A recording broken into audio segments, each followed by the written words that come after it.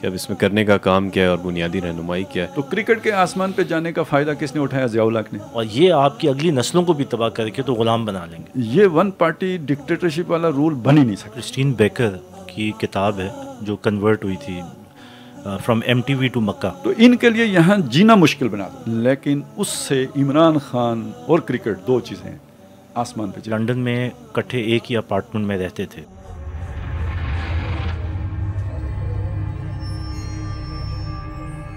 आउज़बिल्लिनशैतवानरजीम बसमीम नाजरीन economics the new war front की एक नई एपिसोड के साथ आज हम आपके साथ केवान अनवर साहब और खालिद महमूद अब्बासी साहब हमारे साथ मौजूद हैं और ये बहुत ही स्पेशल एपिसोड है जिस तरह हमने आपसे अपनी आखिरी एपिसोड के अंदर ये वादा किया था कि जो हमने बैकग्राउंड देखा है यूएस डॉलर के हवाले से कि यूएस डॉलर की क्या हिस्ट्री रही है तकरीबन पिछले 200-300 साल के अंदर किस तरीके से ये डॉलर वजूद के अंदर आया और फिर दुनिया में इसके अप डाउन होने की वजह से किस तरह से इकनॉमिक रिसेशंस आए, फिर जंगें हुई और उसके बाद सूरत हाल अब यहाँ तक पहुँच गई है कि एक- नई वर्ल्ड पावर दुनिया के अंदर, यानी यूएस की जगह अब चाइना की टेक ओवर की बातें हो रही हैं और इसके साथ बहुत सारे जियो पोलिटिकल वो भी अटैच हुए हुए हैं और अगर हम पाकिस्तान के हवाले से बात करें तो पाकिस्तान की जो अंदरूनी सियासत है और मीशत है, वो भी इस आलमी तनाजुर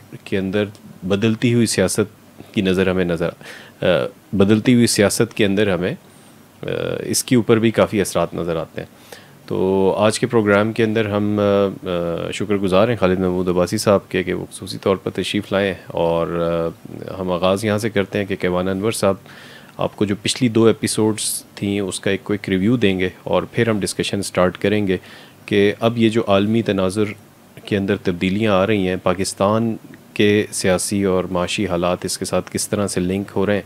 और आखिर में हम आपको बताएँगे कि इस वक्त एक आम पाकिस्तानी मुसलमान के लिए रहनुमाई क्या है इन हालात में और उसको क्या करना चाहिए। तो ओवर टू केवान अनवर साहब। जी बिस्मिल्लाहिर्रहमानिर्रहीम अ, जी असद भाई हमने ये जो सीरीज़ इसके ये थर्ड पार्ट है। तो हमने इससे पहले जो दो एपिसोड्स थी उसमें बुनियादी तौर पे जो इवेंट हमारे सामने था जिस वजह से हमने ये सारा शुरू किया वो तो ये था कि दुनिया में यूएस डॉलर के ऊपर बहुत ज़्यादा इस वक्त बात हो रही थी कि शायद ये क्रैश होने लगा है। और फिर हमने समझने की कोशिश की कि ये यूएस डॉलर जो है, इसकी, इस वक्त की जो सिचुएशन है, उसके पीछे बैकग्राउंड क्या है इसकी बुनियादें क्या हैं, ये किस तरह वजूद में आया और ये क्यों एक थ्रेट है इस वक्त आलमी निज़ाम के लिए। तो हमने फिर जब इसकी बुनियादें खोली तो उसमें ज़ाहिर है बैंकिंग सिस्टम आया, उसके पीछे बैंकिंग सिस्टम का जो मॉडर्न बैंकिंग इसका इर्तका कहाँ से हुआ, वो जो जू फैमिलीज़ थी, जिन्होंने इसकी बुनियाद रखी। और फिर किस तरह बरता, जर्मनी, बरतानिया और वहाँ से होते होते अमेरिका में एक फेडरल रिज़र्व के कायम होने के बाद डॉलर का एक वजूद आया हमारे सामने और फिर इसको मुस्तहकम कैसे किया गया? हमारी जो पिछली दो एपिसोड्स थी, उसमें जो असल फोकस रहा, वो हमने उन पैटर्न्स को आइडेंटिफाई किया, जो अमूमी तौर पे नज़र नहीं आते। और वो पैटर्न्स ये थे कि ये जो डॉलर को क्रिएट करने या इससे पहले जो आलमी मालियाती इदारे जिस तरह फेडरल रिज़र्व है अ, ये जब क्रिएट हुए हैं तो इनका उस ज़माने के इकनॉमिक रिसेशन या फिर जो आलमी जंगें हैं उनसे क्या ताल्लुक़ है? क्या वही लोग जो कि हमने फिर खोल की चीज़ें सामने रखी कि वही लोग हैं जो इस मालियाती निज़ाम के पीछे भी हैं? वही लोग जो हैं वो इकनॉमिक क्राइसिस और रिसेशंस भी क्रिएट करते हैं और अल्टीमेटली उन्हीं रिसेशंस की वजह से आलमी जंगें भी बर्पा होती हैं। तो there is a clear relationship के हालात जो हैं, वो अपने आप को रिपीट करते हैं। और इस वक्त जो हालात हमारे सामने बने हुए हैं, जो हमने यूएस डॉलर की तनाजुर में बात की तो ये वही हालात हैं जो 1907 में, जब फेडरल रिज़र्व जिसके बाद क्रिएट हुआ 1913 में, और फिर 1914 की आलमी पहली आलमी जंग, उसके बाद 1929 का इकोनॉमिक रिसेशन और उसके बाद 1939 की सेकेंड वर्ल्ड वॉर और अब जो 2008 का इकोनॉमिक रिसेशन और उससे जो एक नया ट्रेंड शुरू हुआ है, पैसे की सप्लाई का और उसके बाद अब जो दुनिया में दो कैंप्स बन गए हैं, अमेरिका का कैंप और चाइना का कैंप यानी कि रिसीडिंग सुपर पावर और इमर्जिंग सुपर पावर तो ये पैटर्न सारे रिपीट हो रहे हैं। हमें ख़दशा ये है कि क्योंकि पैटर्न्स बड़े क्लियरली रिपीट हो रहे हैं तो उसका जो मनतकी अंजाम नज़र आता है, वो भी ये कि क्या दुनिया एक नई जंग की तरफ़ जा रही है कि नहीं। और ये हमने बात की, बड़ी खोल के बात की। दुनिया में बड़े इवेंट्स की बात की वर्ल्ड बैंक कैसे बना आईएमएफ कैसे बनी सल्तनत उस्मानिया का बताया। सल्तनत उस्मानिया कैसे ख़त्म की गई बेलफोर डिक्लेरेशन के पीछे वही रॉथ चाइल्ड फैमिलीज़ थी जो वहाँ से निगोशिएट कर रही थी जिनके साथ कॉन्ट्रैक्ट साइन किया ब्रिटिश गवर्नमेंट ने।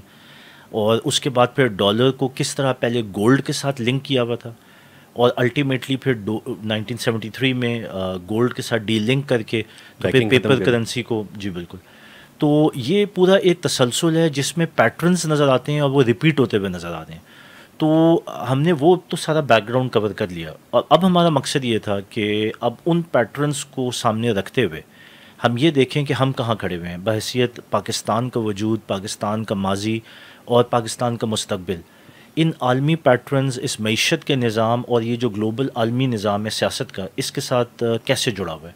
और हम आज किधर हैं और हमारे साथ जो हो रहा है वो क्यों हो रहा है? तो ये समझने की कोशिश करेंगे हम खालिद साहब से। इसमें खालिद साहब, एक चीज़ हमने और भी देखी थी कि ये जो सल्तनत उस्मानिया का जब ख़ात्मा हुआ है तो उसका बैकग्राउंड भी देखा था कि वहाँ लॉरेंस ऑफ़ अरेबिया के ज़रिए से वो काम उन्होंने किया था। और फिर 1947 में जब पाकिस्तान इंडिया को अलग किया तो उनके साथ एक लोकलाइज प्रॉब्लम कश्मीर की सूरत में छोड़ दिया और 1948 में इसराइल की रियासत जो है ना, उसका क़्याम है। तो इन चीज़ों को भी हमने देखा था कि ये वर्ल्ड बैंक बनने के बाद से और अकवा मुतहदा का जो क़्याम था ये जो इश्यूज़ हैं, ये लोग देख रहे थे कि शायद अगले सौ सालों में इनको हॉट करके किस तरीके से दुनिया के अंदर ये अपनी हुकूमत को कायम रखेंगे या अपने हालात को लेके चलेंगे। बिल्कुल। तो खाल सब कुछ आपसे समझना चाहेंगे कि आज जिस बहरान में हम खड़े हुए हैं, मीशत का भी बहरान है और सियासत का भी बहरान है। तो क्या इसके ताने बाने हम उस आलमी इदारा यू एन यूनाइटेड नेशंस और फिर जिस तरह असद भाई ने कहा कि ये जो तकसीम हुई और नेशन स्टेट्स जो बनी हैं उसके बाद जो ये बीज बोए गए थे जिस तरह कश्मीर का डिस्प्यूट था उधर फ़लस्तीन का डिस्प्यूट था तो क्या दुश्मन की आ, आ, हम देखते हैं कि माजी में जब इसराइल बना है तो बिन गोरियान की भी स्टेटमेंट कि पाकिस्तान से हमें बहुत बड़ी थ्रेट है क्योंकि एक आइडियोलॉजिकल नेशन है। तो क्या दुश्मन ने उस वक्त से ही हमारे हमें आइडेंटिफाई किया हुआ था? और कोई प्लानिंग चल रही थी जिसका शायद आज हम एक कोई फाइनल फ़ेज़ देखें आज हम जब खड़े होकर देखते हैं ना क्या मैं पाकिस्तान के वक्त को तो देखें उसमें कई चीज़ें जमा हैं। एक चीज़ तो ये है कि देखें यहाँ पे एक फ़िक्र तो ज़रूर मौजूद थी। यानी ज़ाहिर शाह वलील्ला गुज़रे हैं मुजद अलफसानी गुज़रे हैं तहरीक शहीदैन एक जज्बाती कौम तो ओलमा का असर रसूख वो असाब काफ वाली सुन्नत ये सारी जो चीज़ें मिल मिला के तो एक जज्बा तो यहाँ बड़ा स्ट्रांग मौजूद था। और उससे वो ख़तरा यानी ये तो खैर उन्होंने 67 में कहा ना कि पाकिस्तान से ख़तरा है। तो वो चीज़ महसूस तो बहुत पहले से हो रही थी यानी अठारह सौ सतावन में अंग्रेज़ ने किससे ख़तरा महसूस किया था? लॉर्ड मकाले ने जो अपना आके ऑब्जर्वेशंस दी थी तो किससे ख़तरे का ज़िक्र किया था? वो कौन से दुश्मन थे जिनके बच्चों को पढ़ाने के लिए लॉर्ड मकाले ने निज़ाम तालीम वज़ा किया था? ठीक है ना? ये ये सारी चीज़ें पहले भी थी, सौ साल पहले से थी। लेकिन वो हल नहीं निकला था उनका मतलब वो काउंटर नहीं हो सका था। लॉर्ड मकाले के पूरे निज़ाम तालीम के बावजूद भी, वो फिर भी पैदाइशी वली थे जो, जैसे वो मौलाना अमीन हसन इसलाई ने कहा। तो ऐसे लोग थे कि जिनके अच्छा फिर ये यही तरीके उठ खड़ी हुई। यानी एक तो अल्लामा इकबाल की शख्सियत बड़ी मज़बूत शख्सियत खड़ी हो गई। इधर मौलाना मदूदी खड़े हो गए अबुल कलाम आज़ाद खड़े हो गए। तो जो जदीद तालीम जिनको पढ़ाई थी तो उनकी फिर ट्रांसफॉर्मेशन शुरू हो गई। और ये ज़्यादा खतरनाक हो गए उनसे। जो। यानी रवायती थे उनसे ज़्यादा खतरनाक ये हो गए तो, हाँ ये बुनियाद प्रस्त साबित हो रहे थे। तो असल में एक तो इसे कैप करना था इस सारी सिचुएशन को। पाकिस्तान इसलिए बनाना भी ज़रूरी था। वो जैसे एक लारा लप्पा लगाते हैं या जैसे एक झूठे मसीहा बन के आप आते हैं तो यानी चलें ला इल्लल्लाह वाला मुल्क आ गया है जी चले आप ज़रा ठंडे होकर बैठे ना इसलिए भी ज़रूरी था। ये भी कहा जाता है जागीरदारों की नवाबों की भी ज़रूरत थी। उसके अलावा इंडिया को काबू रखने के लिए भी पाकिस्तान की ज़रूरत थी। देखें ना एक साम्राज्य है वो जा रहा है। हाँ। और एक बहुत बड़े एरिया जोग्राफिया भी है ताकत भी है कौम भी है आबादी भी है। उसको वो आज़ाद करके जा रहे हैं। तो वो तो किसी भी वक्त हकीकी आज़ादी की तरफ़ जा सकता है। तो उसको संभाल के भी तो रखना ना।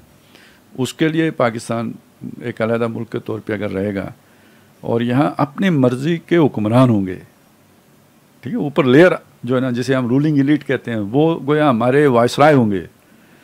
तो इंडिया के ख़िलाफ़ भी हमारे काम आएँगे। तो जाने से पहले जो आपने कश्मीर का ज़िक्र किया तो ये एहतमाम इसलिए किया गया था ना कि कभी इंडिया पाकिस्तान करीब ना आ सके। सेटल ना हो सके। सेटल ना हो सके। ये इस यानी इनके दरमियान ये मसला बोन ऑफ़ कंटेंशन के तौर पर कश्मीर मौजूद रहे। अब ये, ये बात ज़रा थोड़ी मुतनाज़ा हो जाएगी लेकिन मैं तो इसका स्ट्रांग बिलीवर हूँ इस पर कि वो जो झूठी नबूवत उन्होंने खड़ी की थी ना तो उस वो भी एक यानी एक जिस रूलिंग एलीट को दे के जाना चाहते थे उनके बारे में उन्हें कन्फर्मेशन चाहिए थी कि इनका ला इला से अगर कोई ताल्लुक़ रह भी जाए मोहम्मद रसोल्ला से ताल्लुक़ ना रहे। ठीक है ना? क्योंकि निज़ाम ने तो मोहम्मद रसोल्ला की सूरत में जलवागर होना था ना? तो उसके लिए एक झूठा नबी और उसके साथ फिर उन लोगों को जोड़ के एक क्लब बनाना और उस क्लब के मेंबर्स को जो है ना वो हुक्मरानी में फैसिलिटेट करना उनके लिए रास्ते खोलना उनके उनके मौके देना उनको ऊपर लेके आना फिर उन पर एतमाद करना और लोकल ज़मीन उन पर गर्म करके रखना। लोकल ज़मीन उन पर गर्म करके रखना। क्यों? अगर वो मज़हब वाली चीज़ बीच से निकल जाएगी तो सन ऑफ़ साइल वाली चीज़ पीछे रह जाएगी। बिल्कुल। तो इनके लिए यहाँ जीना मुश्किल बना दो। इन्हें काफिर करार दे दो इन्हें वो जो भी वो एक तो एक तो वो मज़हब वालों को भी तसल्ली हो जाएगी कि ये काफिर हो गए। लेकिन फ़ायदा ये होगा कि ये कभी इधर जड़ें अपनी नहीं बनाएँगे ये जड़ें जाके अपनी उधर बाहर बनाएँगे। तो यहाँ लूट खसूट का मौका इनको दे दो और ये सारी लूट खसूट करके जाके जमा वहाँ पे कराएँ क्योंकि यहाँ इनकी ज़िंदगी ख़तरे में है। ये पूरा सेटअप मगरब बना के गए हैं। और इस यानी ये तो खैर इन नहम यकीदुन कैदन था ना, वो उनकी चाल, तदबीर प्लानिंग मनसूबा, ये उनका था। लेकिन खुदाई मनसूबा ये था कि ठीक है, उन्होंने समझा कि भाई, यानी वो जो है ना, इस सूर्य काफ में आता कि वो कश्ती थी, वो खिजर ने तोड़ दी तो पीछे बादशाह था जो पूरी कश्ती गसब कर लेता था। ये वाली उम्मीद ना उन्हें होती ना कि हमने इसको दागी कर दिया है इसमें हमने अपनी इंडक्शन कर दी है अपना वो डाल दिया है तो ये पाकिस्तान को बनने ही ना देते। ये ना होता तो ये पाकिस्तान को चलने ना देते। ये ना होता तो ये कभी इसकी मिलिट्री को आगे ना बढ़ने देते। ये उम्मीद ना होती महफूजात पाकिस्तान का एटमी प्रोग्राम महफूजात हूँ मैं। वो महफूजात जो उनकी समझ में महफूज थे वो ना होते तो ये एटमी पावर ना बनने देते। अब ये सारा कुछ बन के हम यहाँ पे पहुँच गए। तो यहाँ पे पहुँच के अब तारीख ने टर्न लेना शुरू कर दिया है। और ये जो तारीख टर्न ले रही है ये मेरी समझ के मुताबिक ये टर्न जो है ना ये ये मिलना दुन्नी है। इसके इसबाब सारे अल्लाह ने पैदा किए। और एक ए, एक जो है ना ये हालात ने ऐसा पलटा खाया है कि जैसे मूसा इस्लाम को एक वक्त में दरबार छोड़ के ना फिर उनके गरी में पले बढ़े लेकिन हालात ऐसे बने कि उन्हें वहाँ से निकल के मदियन जाना पड़ गया। पाकिस्तान के लिए अचानक वो हालात बन गए कि अब इन्हें यहाँ से यानी टर्न लेना पड़ गया। और उस टर्न के अंदर बड़ी उखाड़ बिछाड़ हो रही है बड़ी रिस्ट्रक्चरिंग हो रही है मतलब हर शय बदल रही है। अप एंड डाउन जो है ना बिल्कुल तब्दीलियाँ आ रही हैं। इनकलाबी नोयत के काम हो रहे हैं और रेवोल्यूशनरी प्रोसेस में हो रहे हैं। टर्न लेने वाले नहीं थे लेकिन फिर भी लेना पड़ रहा लेना पड़ रहा है जी ठीक तो चलें, ये खाली सब थोड़ा सा इसका बैकग्राउंड आ गया। और हालिया तनाजुर के अंदर पाकिस्तानी सियासत को आप कैसे देख रहे हैं? ये जो आलमी तब्दीलियाँ आ रही हैं, हम देख रहे हैं कि यूएस डॉलर के ऊपर हमने पिछली दफ़ा भी बातचीत की थी कि अमेरिका ख़ुद भी कर्ज़ों का जो प्रॉब्लम है अमेरिका के, वो अब काफ़ी बढ़ गया। और उसको बार बार अपना इंटरेस्ट रेट भी बढ़ाना पड़ रहा है। और वहाँ पे भी मसाइल जो है वो काफ़ी चल रहे हैं। दूसरी तरफ़ चाइना के अंदर अब कोविड रिस्ट्रिक्शंस ख़त्म हो रही हैं तो उनके पास जो डिमांड साइड है उसमें मज़ीद डेप्थ पैदा हो रही है और जो दुनिया भर की मंडियाँ हैं उनका रुख चाइना की तरफ़ हो रहा है। बहुत सारे मुल्क ऐसे हैं जिन्होंने ट्रांजेक्शन्स अपनी अदर देन यूएस डॉलर में स्टार्ट कर दी हैं। अभी अगर आप पाकिस्तान जैसे छोटे मुल्क को देखें तो उसके अंदर भी अभी हाल, हालिया रशिया के साथ बहुत ओपन ट्रेड का गवर्नमेंट ने अलाउ कर दिया है। ईरान, अफ़गानिस्तान के साथ ट्रेड हो रही है। और ये सारी जो है, ये लोकल करेंसीज़ के अंदर हो रही हैं। बल्कि इवन ये जो बेल्ट है अफ़गानिस्तान, ईरान और पीछे रशिया की जितनी स्टेट्स हैं, इन सब के साथ तो गवर्नमेंट्स ने बार्टर ट्रेड के भी एग्रीमेंट्स कर लिए हैं। यानी ना कोई करेंसी उधर से इधर आएगी, ना इधर से उधर जाएगी। बल्कि अशिया के मुकाबले में अशिया जाएँगी और उसके ऊपर जो है वो ताजर आपस में सेटलमेंट्स करेंगे। एक तरफ़ हम ये देख रहे हैं और दूसरी तरफ़ जो पाकिस्तानी सियासत के अंदर जिस तरह का एक भौचाल आया हुआ है जिस तरह अक्सर हम बात करते भी हैं कि दस साल तो ये धरनों के प्रोसेस को हो गए हम्म। पाकिस्तानी सियासत में। जब धरने शुरू हुए और उसके बाद से एक मुसलसल अनस्टेबिलिटी है ही है। लेकिन अगर माशी बहरान को देखें तो वो तो शायद इससे भी पहले का कहीं नज़र आता है। अच्छा देखें सर, मैं एक पर ये, मैं कहना ये चाहता हूँ कि सारा, ये कोई हादसा नहीं है। ये किसी की प्लानिंग है। कहीं का प्लान है जो जो एग्जीक्यूट हो रहा है, ठीक है? पूरे तौर पे हो रहा है, नहीं हो रहा है, ये अलग बात है, लेकिन प्लान है वेल प्लान सारी एक्टिविटी है ये। और मैं कम अज़ कम ये कह सकता हूँ कि आज से 25 साल पहले ये चीज़ मैंने मैंने पढ़ी थी बाकायदा। कि जब कसिंजर ने दौरा किया था 1970 में पाकिस्तान ने फैसिलिटेट किया था और वो चाइना गया था तो कसिंजर अगरचे के अमरीकी है लेकिन वो अमरीकी मफादात से ज़्यादा किसी और के मफादात को सर्व करने वाला बंदा है। ठीक है? तो ये असल में वहाँ से एक पॉलिसी शिफ्ट कह लें या जो भी आप उसे पोल शिफ्ट कह लें कि वो जो जैसे कभी बरतानिया से चीज़ शिफ्ट होके तो यानी वो इकतदार शिफ्ट होके अमेरिका गया था अब गोया उस वक्त ये तय हो गया था कि ये अमेरिका से शिफ्ट होकर चाइना जाएगा। उसके बाद चाइना के अंदर बड़ी जोरी तब्दीली आई है। यानी वो एक कम्युनिस्ट कम्युनिस्ट ब्लाक का मुल्क था ना? बिल्कुल। तो वो एक हाइब्रिड मॉडल की तरफ़ गए हैं। वो ऑलमोस्ट यानी वो उसकी तरफ़ कैपिटलिज्म की तरफ़ चले गए। इकोनॉमिक मॉडल तो सर कैपिटलिस्ट है ठीक है ना? यानी उन्होंने क्या कर लिया? पॉलिटिकल मॉडल उन्होंने कम्युनिस्ट रखा। बिल्कुल। इकोनॉमिक मॉडल बदतरीन कैपिटलिस्ट रख लिया। बिल्कुल ऐसे। ठीक है ये यानी अब और ये आपको मालूम होना चाहिए कि कम्युनिज्म की जो खराबी थी असल में वो उसका पॉलिटिकल मॉडल था। Economic fascist sir economic model नहीं इकोनॉमिक मॉडल अच्छा। तो इसलिए था कि वो सबको बराबर देना चाहते थे। ठीक। वन पार्टी वन गवर्नमेंट था ना वन पार्टी रूल जो था ना वो उसका वर्स्ट जो ना वो तो चीज़ वर्स्ट जी जी बिल्कुल। ठीक है वो वन पार्टी रूल था। जी, जी। तो चाइना चाइना ने वर्स्ट चीज़ जो है ना वो ले ली कम्युनिज्म से। ठीक। और जिसके नतीजे में कम्युनिज्म आया था वो कैपिटलिज्म था। तो उसने कैपिटलिज्म ले लिया यानी टू यानी दो बुराइयाँ जमा हो गई हैं चाइना में। ठीक। उसके निज़ाम को अगर आपने समझना हो। यानी जिसे आप सिंथेसिस कहते हैं वो तो अच्छाइयों को जमा करने का नाम होता है। चाइना का सिंथेसिस जो है कैपिटलिज्म और कम्युनिज्म का जो सिंथेसिस है ये दो बुराइयाँ जमा करने का सिंथेसिस है। ये पता नहीं क्यों लोग नहीं समझ पा रहे बात। ये बात बिल्कुल ठीक है। ठीक है ना? जी। अब ये किसको सूट करेगा? यानी आप सरमायादार के जहन का तस्वुर करें उसको अगर कम्युनिस्ट मॉडल मिल जाए पॉलिटिकल जिसमें कोई जवाबदेही नहीं है अकाउंटेबिलिटी नहीं है कोई आवाम के पास जाना ही नहीं है जो वन पार्टी रूल है उसके लिए आइडियल नहीं है। तो देख लें ना चाइना में यानी कैपिटलिज्म ने कितनी तरक्की की है ग्रो की है। तो ये सर अचानक नहीं हुआ है ये एक बाकायदा प्लानिंग के तहत हुआ है। और ये चाइना को यहाँ तक पहुँचाया गया है एक प्लानिंग के तहत। प्रॉब्लम क्या होती है? प्रॉब्लम ये होती है कि हम चीज़ों को मुल्कों के साथ जोड़ के देखते हैं। भाई अमरीकी मफादात क्या हैं? तो समझ नहीं आती भाई अमेरिका का सदर या अमेरिका का एक ऑफिशियल वो चाइना को क्यों सपोर्ट करेगा? तो बंदे को लगता है यार ये बकवास कर रहा है बंदा। अच्छा इसको जब आप इसराइल के साथ जोड़ के देखेंगे फिर भी फिट नहीं होगा क्योंकि इसराइल को सबसे ज़्यादा मदद अमेरिका से मिल रही है। तो इसराइल क्यों चाइना की तरफ़ जो है ना वो कुछ करेगा?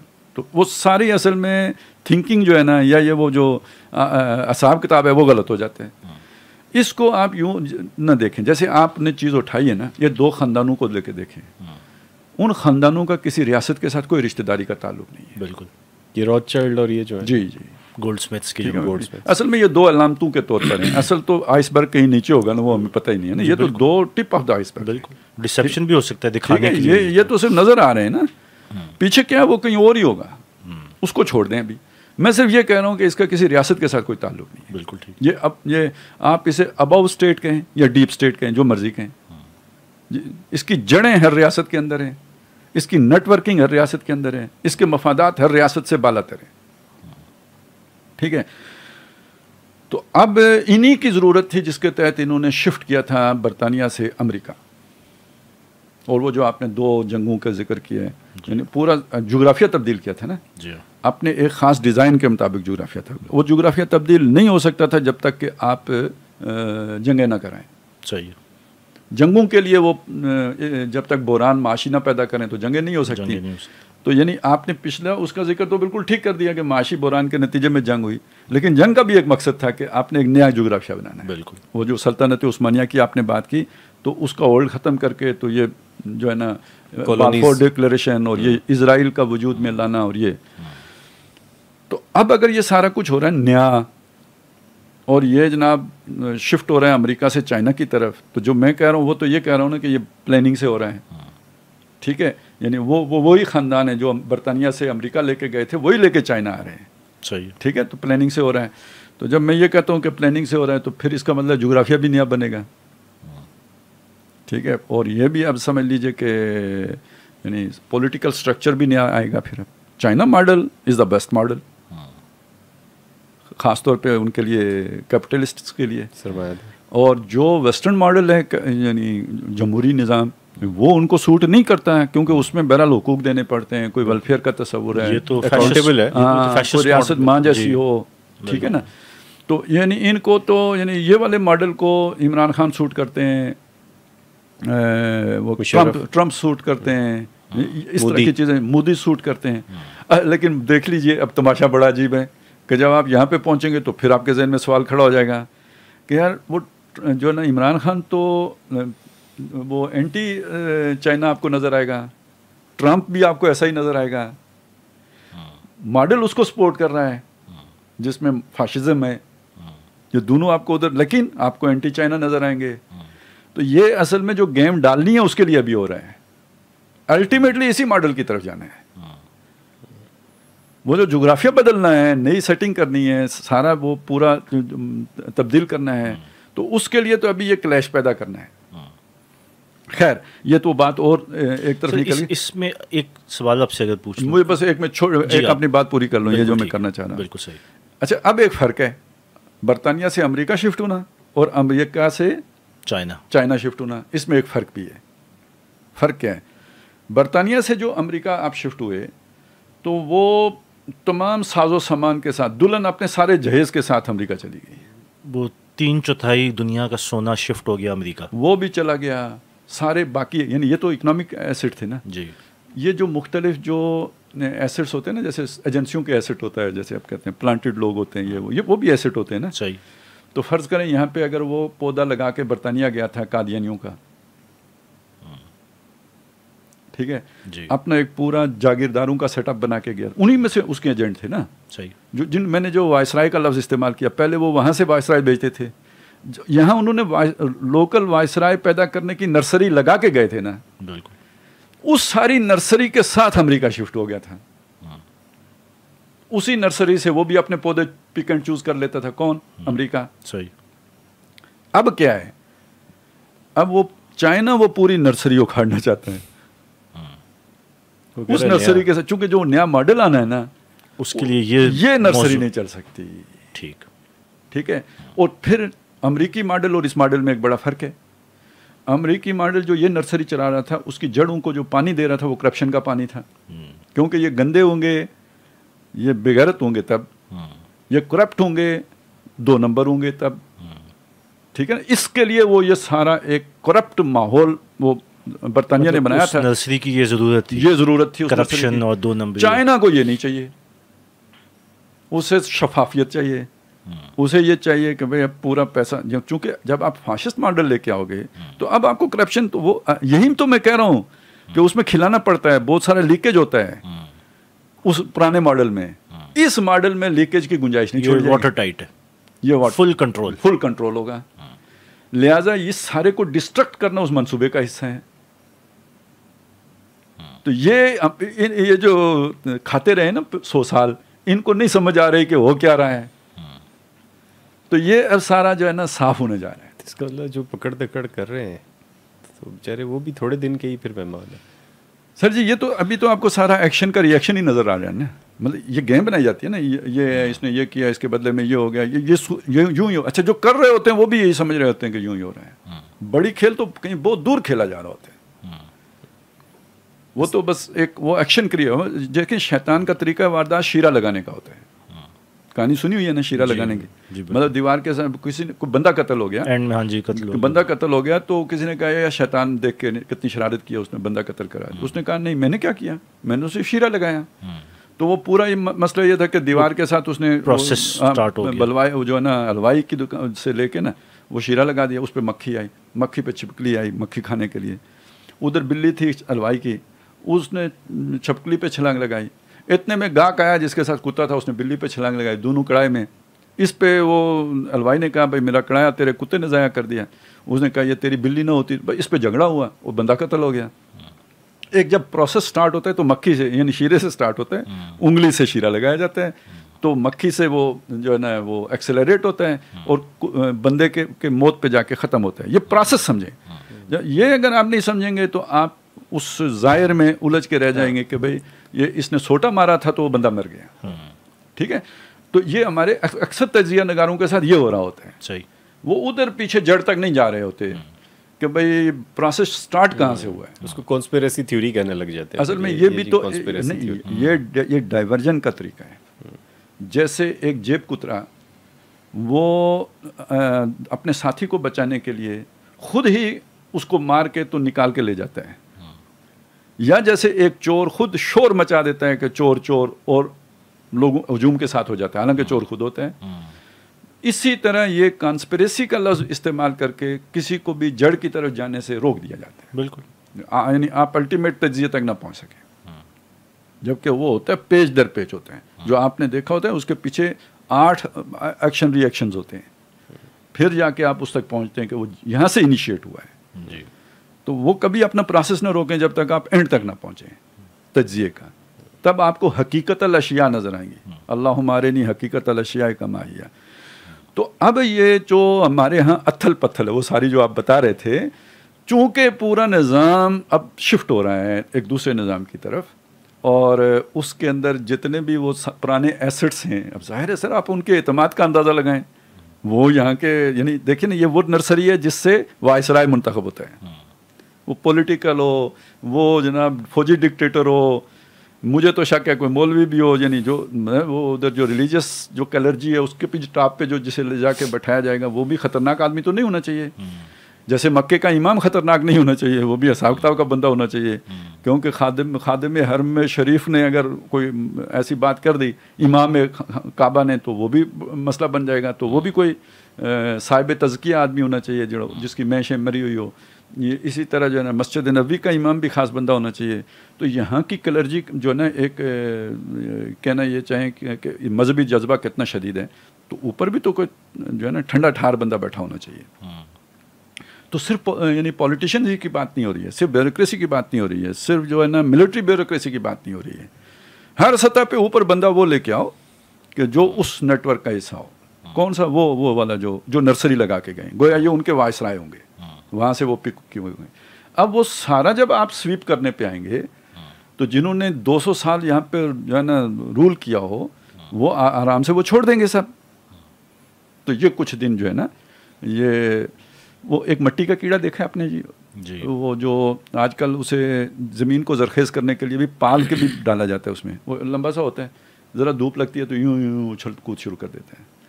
वो जब आप थोड़ी सी मट्टी उखाड़े नीचे से निकलेगा ना तो एकदम जो है ना उसके अंदर जो है वो केचुआ जो केचुआ। केचवा नहीं सर ऐसा लंबा सा होता है। सही है। और वो बल खाता है मतलब उल्टी सीधी अर्थवॉर्म हाँ वो वाला जो अर्थवॉर्म में वो वो वाला जो कीड़ा है तो ये इस सारे इसके अंदर आपको ना इस वक्त वो वाली कैफियत जो नज़र आ रही है तो असल मसला ये है कि ये अब सारा सिमेटा जाना है। लेकिन सिमेटा इस तरह जा रहा होगा कि हम उसे किसी एक्शन का रिएक्शन के तौर पे देखेंगे। जैसे हम देख रहे हैं कि भाई इमरान खान है उ, उसके साथ जनाब जज साहब खड़े हो गए हैं। जज साहब के साथ वो मलक साहब खड़े हो गए हैं। वो लैंड माफिया है उनको ये सपोर्ट कर रहे हैं। ये ये एंटी पाकिस्तान थे ये पूरा ये निज़ाम आ गया है। अब जनाब एक मुहिम चल पड़ी है। इन सबको पकड़ने से है ना फिर तरीका तो यही होगा। लेकिन असल में तो ये यानी वो जो नया निज़ाम आ रहा है उसके लिए ये सारा समेटना बहुत ज़रूरी है। चाइना को ये ये बकवास नहीं चाहिए।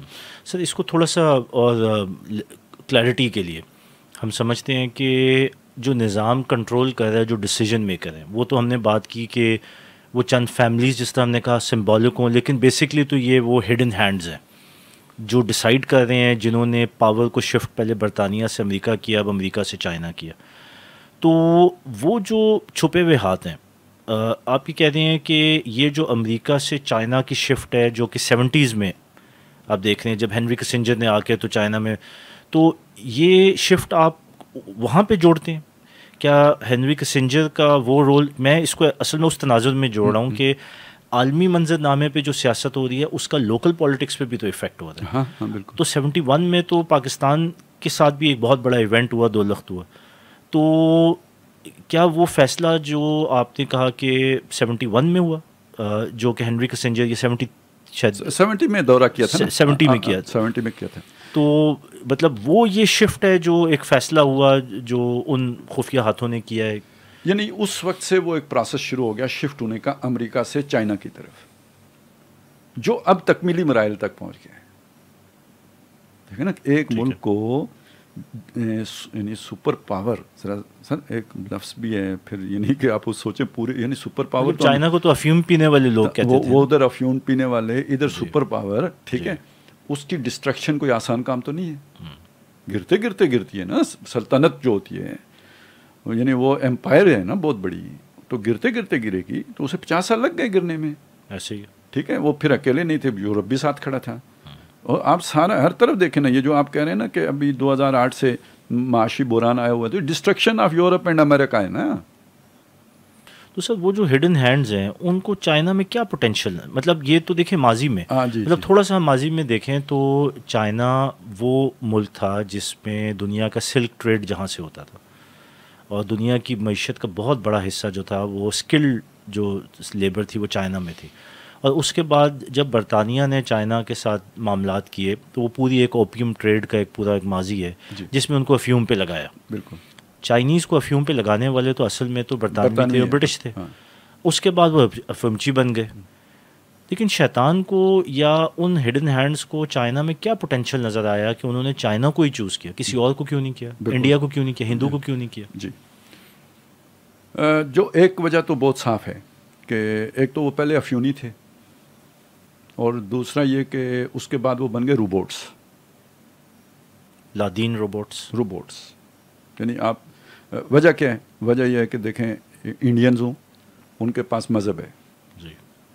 मज़हब जो भी है ना यानी आप ठीक है हमारा उनका बड़ा शदीद किस्म का इख्तलाफ होता है लेकिन आप अगर देखेंगे तो बुनियादी बातें एक जैसी ही मिल जाएँगी। मतलब सच्चाई उसके साथ ये कि एक कोई खुदा का तस्वूर यानी उनके भी आला ज़ात में जाके तो वो तोहिद का तस्वर भी आ जाता है। जी। अ, उनके इंटेलेक्चुअल्स में। तो बहुत से अच्छा जो हमारी रवायात हैं वो भी तकरीबन देखें ना बेहयाई वगैरह उनके मज़हब में तो है ज़रूर है लेकिन मशरकी उसमें तो नहीं है राजपूतों में जो कितने सख्त किस्म का हाँ, वो तो तो- इस्लामी पर्दे से भी ज़्यादा सख्त पड़ता है उनके यहाँ। तो ये ये जो इस तरह की चीज़ें हैं यानी इसका मतलब रोशनी मौजूद है। ठीक है ना एक सिविलाइजेशन है।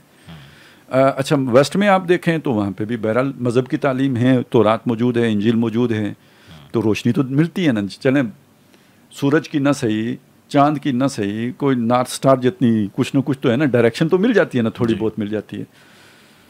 अ, उसके मुकाबले में अगर आप चाइना को देखें तो कुछ भी कोई मजहबी तालीम आपको नहीं मिलती। वो कोई जो है ना कन्फ्यूशस की बात की जाती है लेकिन वो उसके भी क्या तालीमत? कहीं कोई कोई समझ नहीं आती। है उसकी वो ज़िक्र तो वो करते हैं लेकिन को उनके किरदार के ऊपर उसका कोई असर हमें नज़र नहीं आता। और फिर अगर आप उन्हें देखें तो उनकी जिस तरह की मतलब वो हैं आदात खाने पीने की और जो मोरालिटीज़ मोरालिटीज और फिर जिस तरह की उनका वो रुथलेस बिहेवियर है कोल्ड जो है ना ब्लडेड वो जिस तरह वो जराइम। करते हैं ठीक है ना? तो मतलब वो जिस तरह के रोबोट्स चाहिए होते हैं एक सरमादार को अपनी फैक्ट्री के लिए उसकी परफेक्ट जो है ना उस पर पूरे उतरते हैं वो। तो एक वजह तो ये है कि आपको एक बेहतरीन जो जो है ना अपने मजाज के मुताबिक सरमादार के मजाज के मुताबिक जो है ना ओबीडियंट ओबीडियंट लेबर लेबर सिर्फ़ लेबर ही नहीं मैनेज मैनेजमेंट वर्क फोर्स जी ठीक है वो सारा आपको वहाँ से मिल जाती है। सही। एक वजह तो ये। है दूसरा ये है कि सर ये जो स्ट्रेटजी ख़ास तौर पे आप अगर देखेंगे ना डायस्पोरा से डायस्पोरा स्ट्रेटजी है। यानी आपको लगेगा हालात मतलब वो निकाल दिया टाइटस रूमी ने तो डायस्पोरा है। लेकिन ये स्ट्रेटजी भी है कि हम अल्लाह के, यानी जो उनके हायर लेवल पे जो प्लानर हैं या थिंक थिंक्स हैं, उनको ये समझ आ गई कि हम अल्लाह के वो हैं, बागी हो गए हैं। और जो अल्लाह के बागी हैं उनके साथ होता क्या है? सारा ख़त्म। बचने का तरीका क्या है? अभी अल्लाह ने दुनिया नहीं ख़त्म करनी तो दुनिया में फैल जाओ। क्योंकि ख़त्म करने के लिए जिस तरह का अजाब आता है कौम आद पे आया समूद पे आया वो और बाकी कौमों पे आया तो किसी एक जगह पे आप होंगे तो जैसे किसी को एटम बम मार के ख़त्म कर दो तो अल्लाह भी तो यही करता है ना।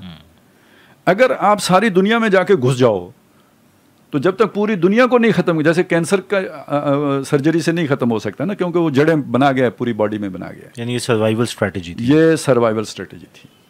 तो ये पूरी दुनिया में फैल जाना दर हकीकत ये अच्छा ये मैं क्यों इतने यकीन से कहता हूँ कि जिस तरह कुरान ने कहा जब आखिरी वादा आएगा हम तुम्हें ले आएँगे वापस। जे ना बेकुम लफीफा। तो इसका मतलब तुम आना नहीं चाहते तुम्हारी स्ट्रेटजी में नहीं होगा वापस आना। ये हम हालात बनाएँगे कि तुम वहाँ लौट के आओगे वापस। शायद इस जोम में कि हम इतने ताकतवर हो गए हैं कि दोनों बातें हो सकती हैं लेकिन मैं और बात की भी कहता हूँ सर ये जोम वाला तो ये आवाम के लिए ठीक। ये तो मतलब वो जैसे हम नबज देखते हैं ना फीलर छोड़ते हैं। ज़रा वो देखना चाहते हैं इन लोगों को एक जगह इकट्ठा करते हैं अल्लाह क्या करते हैं इनके साथ ये भी हो सकता है। वो खुद नहीं आएँगे वो बड़े जहन नहीं आएँगे कभी। हम्म। ये तो मुझे लगता है कि ये ट्रंप जैसे लोग वापस आएँगे ये जो वहाँ पे मगरब में जो तहरीक चल रही है ना इस वक्त वाइट वाइट सुप्रमेसी जी रेसिज्म ये आएँगे तो ये जो हिटलर जिस तरह का बंदा था ना ये उस तरह का रवैया इख्तियार करेंगे मुसलमानों और यहूदियों दोनों के साथ गैर सफ़ेद फाम होने की वजह से सेमेटिक होने की वजह से दोनों हैं। तो ये तो चले जो बचेंगे तो भागेंगे तो जो ये ये फिर किधर जाएँगे? जे ना हिटलर ने भी तो यही किया था। जे ना बेकुम लफीफा यूँ होगा ये मेरा ख्याल है ठीक है हिटलर ने भी यही किया तो, था ना यूरोप अच्छा, से जो आए तो एक बात मैं ये बता रहा था कि ये स्ट्रेटेजी का हिस्सा था सर्वाइवल स्ट्रेटेजी थी कि बिखर के रहो तुम। जी। एक ये दूसरा ये कि देखें अब अगर इकबाल को पता लग गया फरंग की रगे जहाँ पंजा यहूद में है तो आपने तो छुप के रहना था।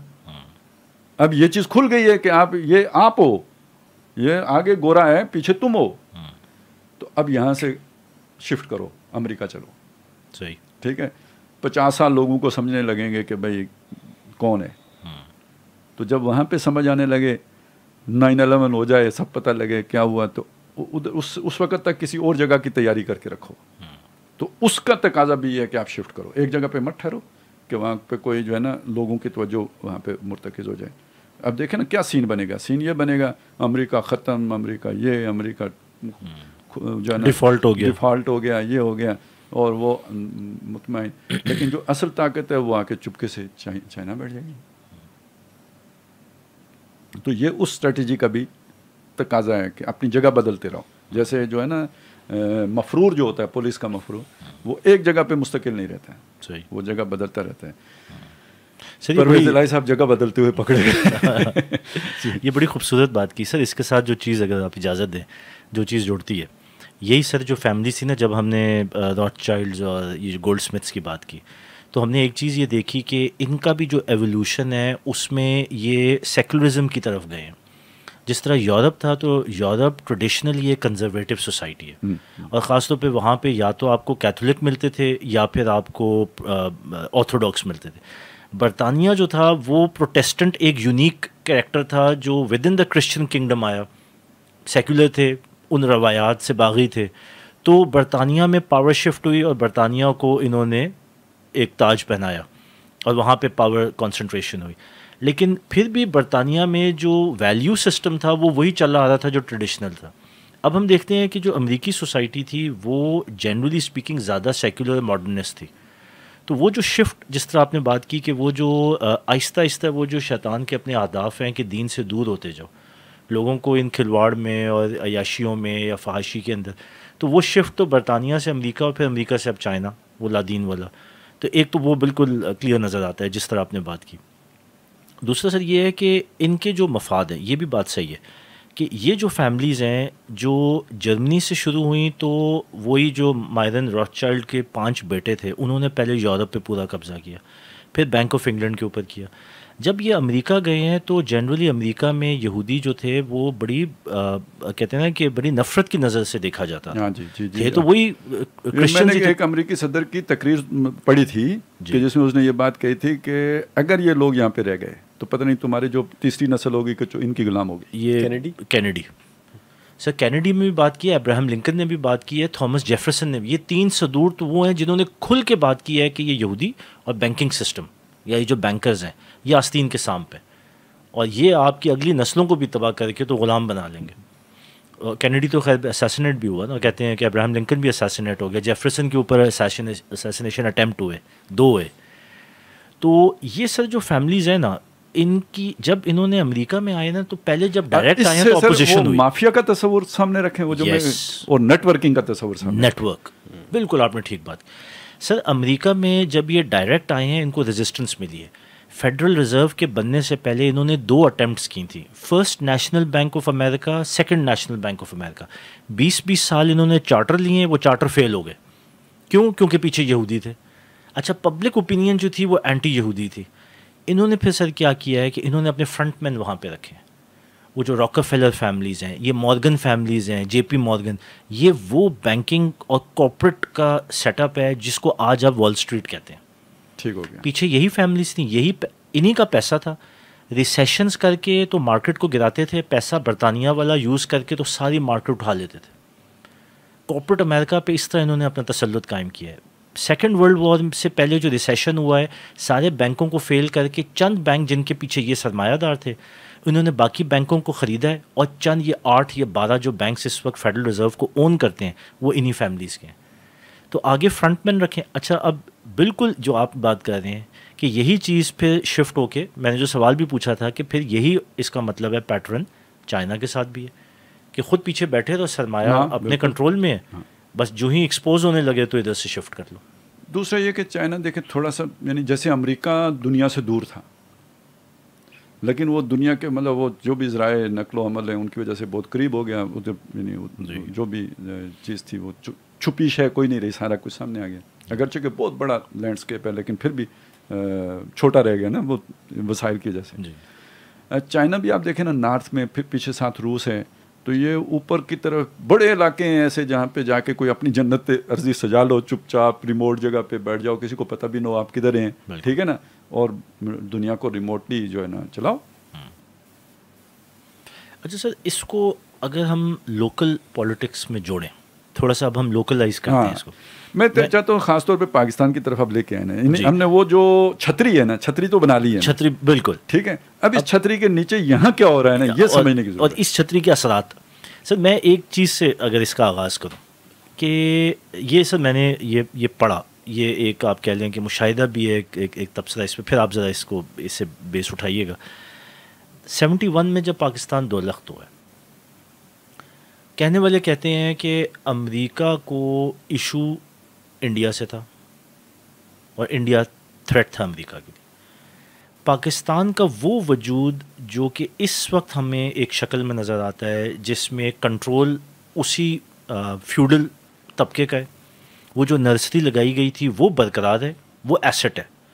ख़तरा आइडियोलॉजी से यानी इस नर्सरी का आज आज नया ये नाम रख लेते हैं वायसराय देने वाली नर्सरी। वॉइस राय देने वाले बिल्कुल। चाहे वो उस वक्त बरतानिया के वॉइस राय थे या आज के हमारे काले वॉइस राय। हैं। सर 71 में जो डिवाइड हुआ है पाकिस्तान बांग्लादेश को अलग करने की जो डिसीज़न थी वो जो एक्चुअल पार्टीशन है उससे कई महीने पहले हो चार महीने पहले इसने यैया खान ने की थी। ये तो कला। डिक्लासिफाइड हो गए हैं। ये डिक्लासिफाइड हो गए। वो जो सेवेंथ फ्लीट आनी थी। सर कहने वाले ये कहते हैं, और इस पर तो बड़ा अब लिटरेचर आर्टिकल्स भी पब्लिश हुए हैं after the declassification of documents कि वो याया खान ने जो एग्रीमेंट की थी, उसके बाद मकसूद क्या था कि बांग्लादेश अलग हो, क्योंकि मुस्लिम मेजॉरिटी है। पाकिस्तान के इंडिपेंडेंस में भी जो, और ये आप इस पर बेहतर बात कर सकते हैं कि जो आइडियोलॉजिकल असास थी, वो तो असल में उधर थी, इधर नहीं थी। तो आइडियोलॉजी को अलग करने के लिए, बांग्लादेश को अलग करना बहुत इंपॉर्टेंट है। उसको अलग कर लो वेस्ट पाकिस्तान को बचाओ। ये कहते हैं सर जो डिसक्लासिफाइड डॉक्यूमेंट्स हैं और इसमें सर करेक्टर भी हेनरी कसेंजर ही है। इधर कसेंजर है और उधर निक्सन है। कि सेवेंथ फ्लीट जो भेजी गई थी वो किसिंजर ने कमिट की थी याया खान को और उसका सारा मकसद वेस्ट पाकिस्तान को बचाना था। ना कि ईस्ट पाकिस्तान को बचाना। और वो बे ऑफ़ बंगाल में वो उनका एयरक्राफ्ट कैरियर और वो न्यूक्लियर और वो पूरा जो बेड़ा था वो एंटर भी हुआ है। सिर्फ़ इंडिया को धमकाने के लिए कि वेस्ट पाकिस्तान के साथ ये तो ये तो भेजा है ना यहाँ पे। दूसरी तरफ़ से रूस के ज़रिए से इंडिया को इंदिरा गांधी को धमकी दी है बाकायदा। मैसेज कन्वे किया है। ये तो फ़िज़िकल मैसेज था ना। जी। तो उधर मैसेज कन्वे किया गया है सफारती सतह पे कि अगर मगरबी पाकिस्तान को ख़तरा हुआ तो अमरीका आखिरी हद तक जाएगा। एट अपना एटमी असला भी इस्तेमाल करेगा। ठीक। तो सर, इस तनाजुर में अब हम पाकिस्तान को देखते हैं कि ये जो हमारी शक्ल आज हमें सामने नज़र आ रही है, और आपने फिर वो निज़ाम की तब्दीली की भी बात की और वो उखाड़ पुछाड़ की बात की कि एक नया निज़ाम आ रहा है। तो फिर सर, हम आज़ाद तो नहीं हैं, ना पहले थे, ना शायद अब हैं। तो ये जो प्रोसेस ऑफ़ चेंज जो कि ग्लोबल हमने बात की कि सेवेंटीज़ से वो चाइना का भी एक डिसीज़न शिफ्ट हुई, उन वो जो कहते हैं ना हिडन हैंड्स की या वो जो फैमिलीज़ जो पीछे छुपी हुई हैं तो फिर उसकी जो लोकल पॉलिटिक्स पे इम्प्लीकेशन है क्या वो सेवेंटी वन से शुरू होती है? फोर्टी सेवन से इन्होंने अपने वो वॉइस तो प्लांट किए हुए थे लेकिन उसकी क्या पॉलिटिकल इम्प्लीकेशन सेवेंटी वन से शुरू हुई? मेरे ख्याल उससे भी पहले से शुरू हो जाती है असल में फिफ्टी एट से शुरू हो जाती है। Okay. पहला मार्शल जी। यानी वो वैसे तो उससे पहले उसके असरात पड़ना शुरू हो गए थे लेकिन ये कि जैसे कहते हैं ना पूरी तरह चीज़ों का गिरफ्त में आना और यानी कब्ज़ा ग्रुप का प्लाट पर कब्ज़ा मुकम्मल कर लेना ये फिफ्टी एट में हुआ है। Okay okay. प्रोसेस तो वो आ, वो क्या है एंबुलेंस के ख़राब होने से शुरू हो गया था ना। फिर चाहता नहीं गोली शोली लियाकत अली तुझ पे गोली चली ठीक है ना वो हाँ वो ये ये सारा जो है ना चलते चलते अच्छा इसमें आप ये देखें कि हमेशा जिस चीज़ से घबराया गया वो अवामी विल है राइट वो चूँकि छप्पन में आइन बन गया था तो वो अब ज़रूरी हो गया था कि नंगे हो गया हो ठीक है? अच्छा ये, ये एक चीज़ को आप समझ लें यहाँ पे। वो है गॉड विल खुदाई तदबीर। खुदाई तदबीर अपनी तद, जो चलती है ना वो इसी शैतानी तदबीर के बीच में चल रही होती है। ठीक। वो समझ रहे होते हैं हमारी तदबीर चल रही है वो किसी और की चल रही हो। उस वो तो बहुत ही लतीफ़ चलती है लतीफ़ुल्लमा यशा।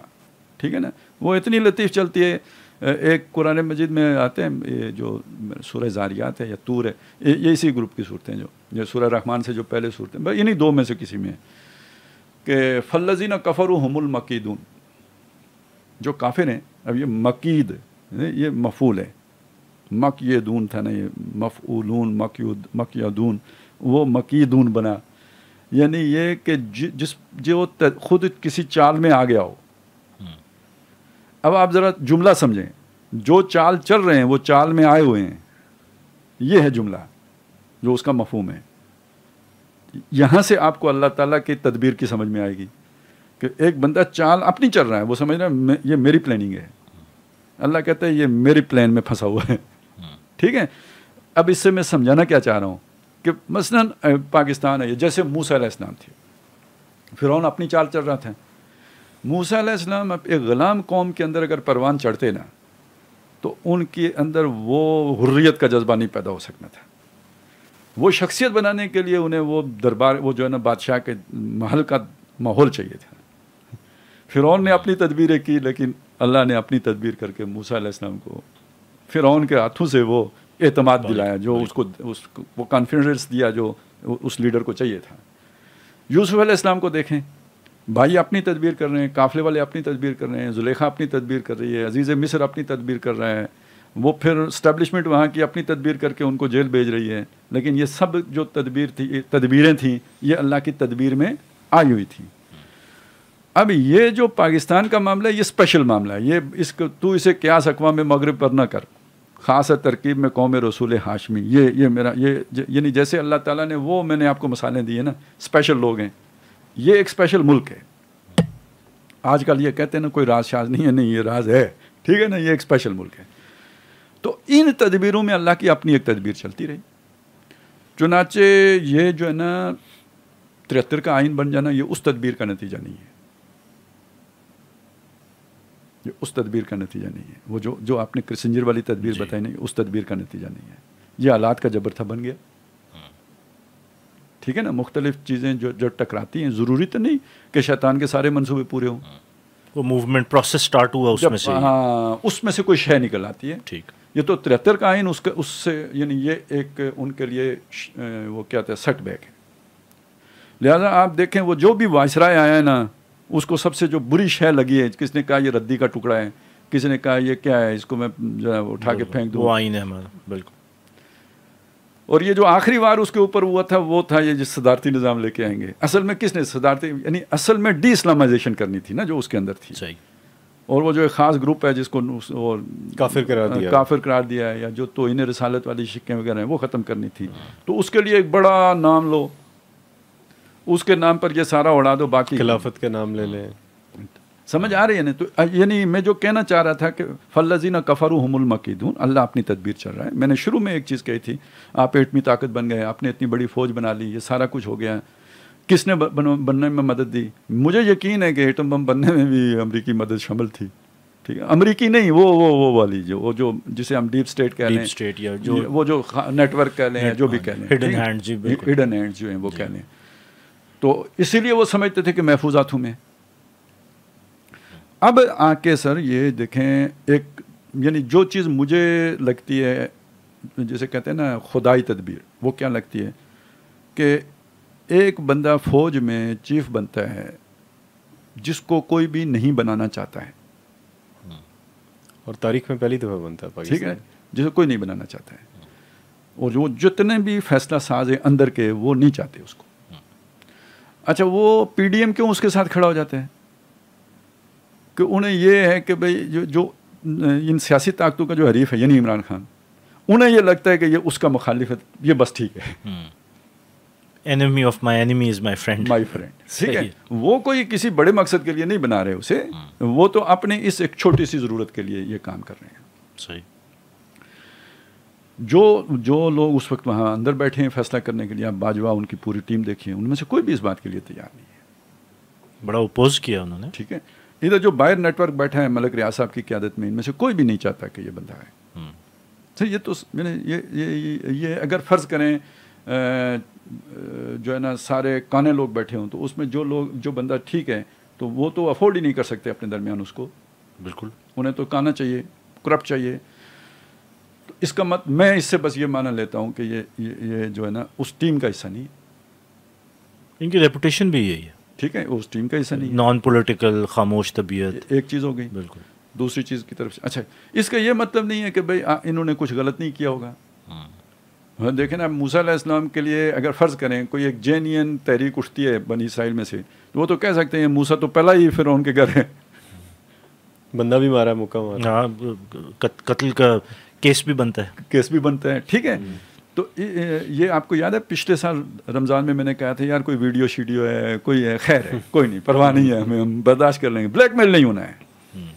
तो इसलिए हमारे पास कोई यानी आप ये मत समझें कि कोई सालिम बंदा हमारे पास मौजूद है कि जिसके माजी पर कोई दाग ना हो।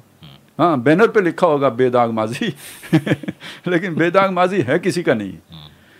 आज बंदा अगर ठीक हो जाता है तो माजी भुलाना पड़ेगा। या ये कि बर्दाश्त करना पड़ेगा बर्दाश्त कर या पास कर वाला वो करना पड़ेगा। तो हाँ। यानी ये इसके लिए तैयार रहे मेंटली फरिश्ता नहीं कोई। ठीक। अच्छा जी अब एक चीज़ तो ये हो गई ये बंदा दूसरी तरफ़ यानी अब इससे मैं कहता हूँ कि पक्का अल्लाह का मनसूबा चल रहा है क्योंकि ये एक तो हादसा भी हो सकता है लेकिन एक ऐसा ही सर फिरा उधर अदालत में भी जो है ना बनने वाला है चीफ। अच्छा वहाँ पे भी कहानी यही है चार साल से उसके पीछे लोग पड़े हुए थे उसको हटाने के चक्कर में ये वो बड़े स्ट्रांग लोग पड़े हुए फैज़ अमीन पड़ा हुआ था।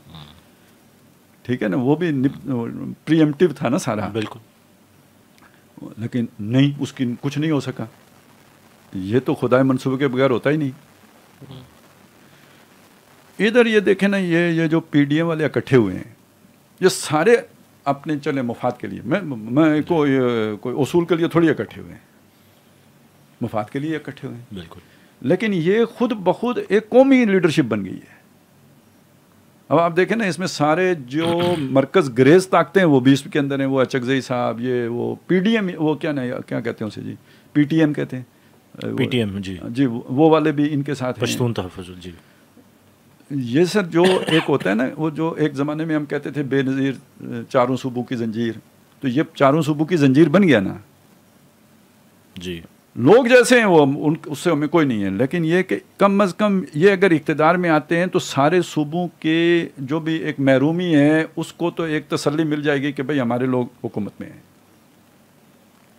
ठीक है अच्छा अब वो जो तड़पा है और वो जो ग्रुप था या वो जो नेटवर्क था या जो भी आप उसे कहें हाँ। उसने जो रिएक्ट किया है इनसे जान छुड़ाने की कोशिश की है अब ये नाइन मई या नाइन अलेवन जो भी हो गया है हम्म। इस सारी चीज़ों ने उनको एक्सपोज कर दिया। अब इनकी मजबूरी बन गई कि ये सारे को साफ़ करें।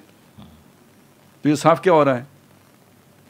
वो नेटवर्क साफ़ वो महफूज हाथ साफ़ हो रहे हैं जो अमेरिका के महफूज हाथ थे। बिल्कुल। इसका मतलब है अब जेन्यन हाथों में चीज़ें आ रही हैं। अब ज़रूरी नहीं सर कल यही लीडरशिप हो। ये स्टेप वन है। टूवर्ड्स बेटर फ्यूचर और ये ग्रेजुअली होगा। ये जो लोग समझते हैं ना, एकदम हथेली पे सरसों जम जाइए ऐसा नहीं हो सकता। ये तो मैदी भी जब आएँगे तो ऐसा नहीं होगा। लेकिन मैं ये समझता हूँ कि यार ये, मुझे ये लगता है कि सही रुख पर चीज़ें आगे बढ़ना शुरू हो गई हैं। ग्रेजुअली होगा, आहिस्ता आहिस्ता होगा स्लोली एंड स्टडली होगा।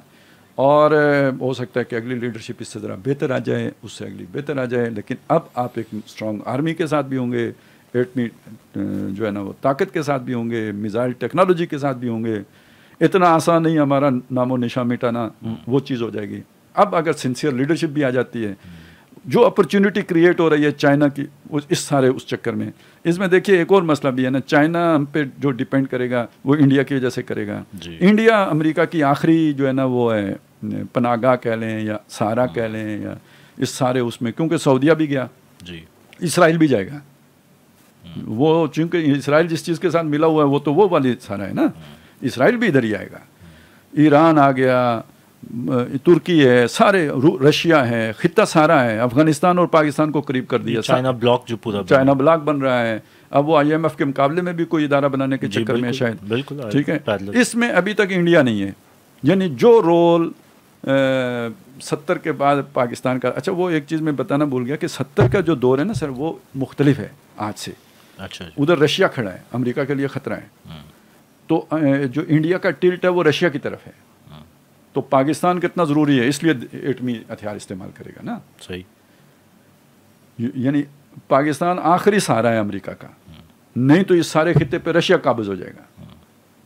सही। ठीक है? वो फिर अफ़गानिस्तान वाला जात भी देख लें। आज वो पोजीशन इंडिया की हो गई है। अमेरिका का आखिरी सारा इंडिया रह गया है। ये फ़र्क आ गया हैं।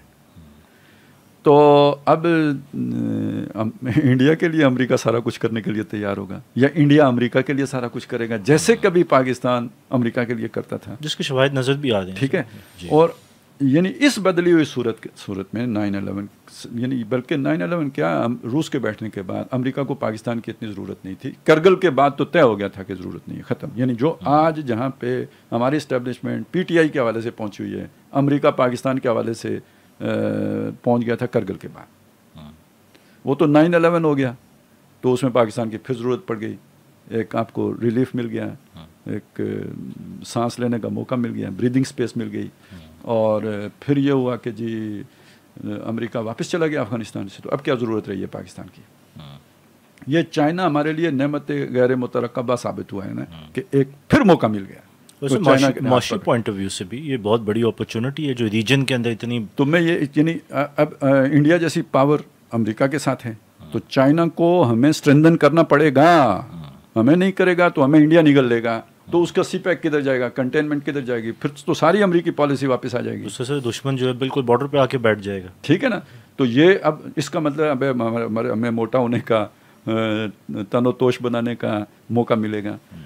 और ये हमें सेकुलर फेस के साथ ही मिलेगा। ये ये अब हमें हमारे समझने की बात है। ठीक है? यानी मैं ये शरीयत की सतह पे तशरी की सतह पे बात नहीं कर रहा हूँ तकवीन की सतह की बात कर रहा हूँ। कि अल्लाह की तदबीर अब भी जो चलेगी ये जो इतना अरसा पाकिस्तान चला है तो सेकुलर फेस के साथ चला है। अमेरिका ने अगर मदद की है तो अपने बंदे समझ के मदद की है कोई इस्लामी बंदे समझ के मदद नहीं की है। एटम बम बनवाया है तो महफूज आज समझ के बनवाया है। अभी चाइना भी करेगा तो ज़रा आपको अपना यानी वो आपका फंडामेंटलिस्ट फेस के साथ तो नहीं कर सकता। सही। ठीक है? लेकिन आपको पता होना चाहिए कि कल जब सेटल हो जाएँगी चीज़ें इंडिया का भी ज़ोर टूट जाएगा तो चाइना ने आपको क्या करना है? भाई देखें आप सरमाएदार के नुक़ नज़र से देखें ना उसके लिए तो जैसे ज़मींदार का बैल है। सही। हल जोता सीज़न ऑफ़ हुआ अब कसाई को दो।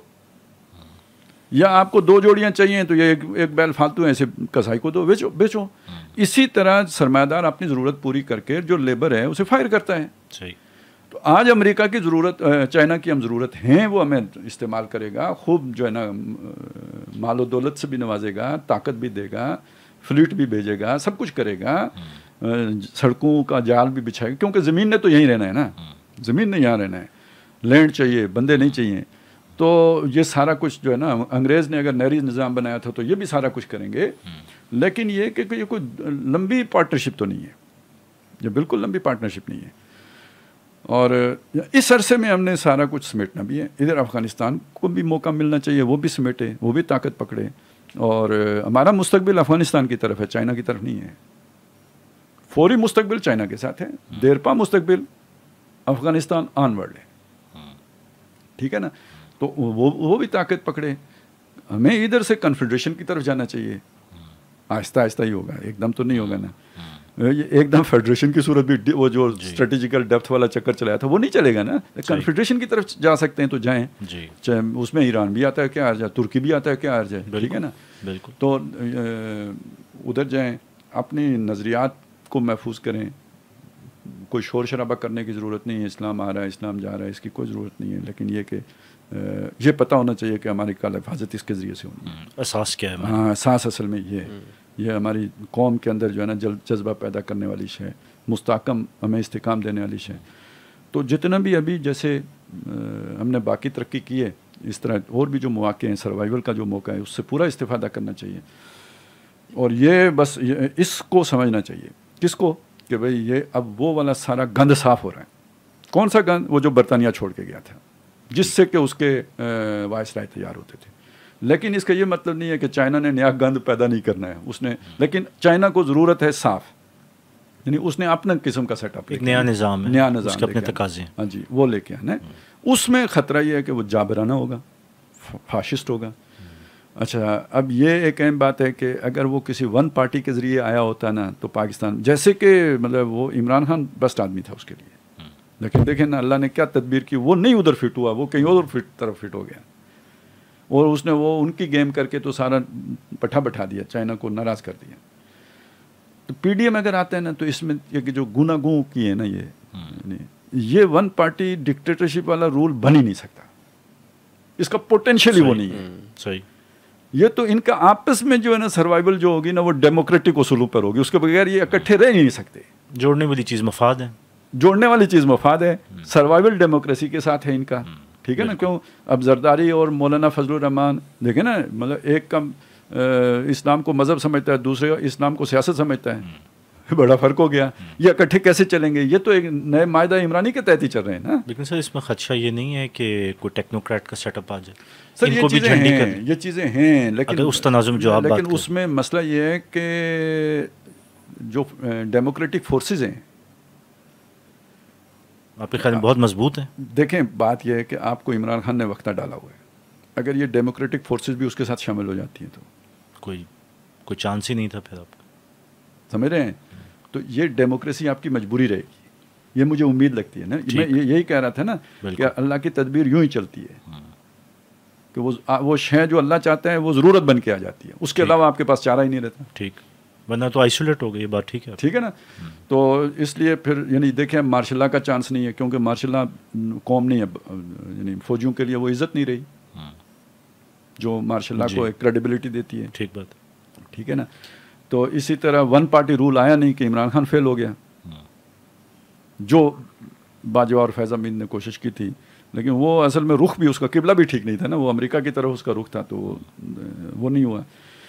तो अब ये जो है ना अगर पीडीएम के थ्रू आएगा तो ये तो है चूं चूं कर मरबा तो ये तो डेमोक्रेसी के बगैर चल नहीं सकता। है तो वो जो चाइना मॉडल है ना कम अज़ कम फौरी तौर पे उसके आने का कोई चांस नहीं है।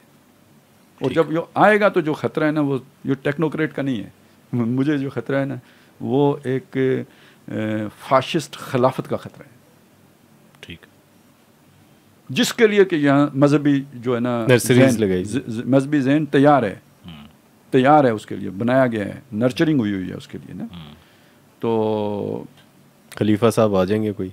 हाँ वो खलीफा बन के आ जाएगा बाकी जो है ना आमन ना ना वो बगदादी होंगे। वैसे सर इसमें अगर एक एक एंगल देखें प्रोजेक्ट इमरान खान की हमने माजी में भी काफ़ी बात की है। प्रोजेक्ट इमरान खान की एक साइड तो खलीफा वाली भी थी ना? हाँ हाँ, हाँ बिल्कुल थी। तो मैं थोड़ा सा क्योंकि आपने भी इमरान खान पीटीआई की भी बात की थोड़ा सा माजी में ले जाना चाहता हूँ हेनरी कसेंजर की आपने बात की। आ, ये चीज़ शायद पब्लिकली नोन नहीं है लेकिन हेनरी कसेंजर और गोल्ड स्मिथ्स आपस में बहुत करीबी दोस्त थे तो ये जो पूरा बीज और वो टाइम भी तकरीबन अर्ली नाइन्टीज़ का ही है। जिस वक्त इमरान अच्छा, खान की वो, जमैमा से शादी हुई। शादी हुई उसी खानदान में हो रही है उसी में हुई और गोई गोल्ड स्मिथ से हुई और फिर वो एक एजेंडे का यहाँ पे नफाज। और वो टूटी मतलब हमारे सामने टूटी हुई है। जब इमरान खान ज़रा उसमें होता है तो जुमैमा को जो है ना सर आज भी पूरी सपोर्ट है और सिर्फ़ जमैमा की नहीं बल्कि दो भाइयों की भी बेन और जैक गोल्डस्मिथ पूरे पूरे पोलिटिकल अपने वज़न के साथ। क्योंकि जैक गोल्डस्मिथ तो वहाँ की पार्लियामेंट का भी मेंबर है ना बरतानिया की। तो पूरे अपने पॉलिटिकल ज़ोर के साथ सपोर्ट में आते हैं। तो मैं सर ये कहना चाह रहा हूँ कि ये जो प्रोजेक्ट इसमें डॉक्टर साहब ने भी डॉक्टर इसरार ने बहुत बात की, हकीम सईद ने की, ईदी साहब ने बात की। इन ख़तरात को तो लोग, ये जो दानिशमंद लोग थे, ये भांप रहे थे पहले से। फिर हमने ये भी सारे ताने बाने देखे, जो गोल्ड स्मिथ्स के हैं और हेनरी कसिंजर के हैं। तो प्रोजेक्ट इमरान खान असल में किसका प्रोजेक्ट था? क्या ये डीप स्टेट का प्रोजेक्ट था? क्या ये इस्टेब्लिशमेंट का प्रोजेक्ट था?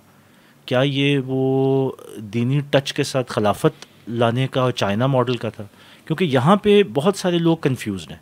वो जो आज उसकी हमायत भी करते हैं, शायद वो इस्टेब्लिशमेंट के जबर की नफ़रत में शायद इसकी हमायत कर रहे लेकिन ये कन्फ्यूज़न दूर करने की ज़रूरत है। कि ये प्रोजेक्ट असल में किसका था और इसके हदाफ क्या थे? देखें, जब भी कोई प्रोजेक्ट इस तरह का होता है ना, उसमें हर एक अपना लुच तलने के लिए, गर्म तंदूर देख के तो अपनी रोटी लगाने के लिए आ जाते हैं।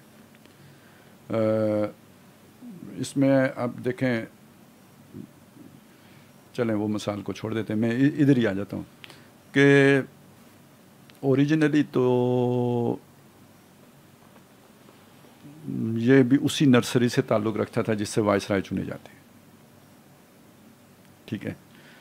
78 में अच्छा मैं थोड़ा सा इनका अगर वो बैकग्राउंड जो है ना अच्छा तो चले नहीं लगेगा लेकिन ये कि प्ले बॉय का था।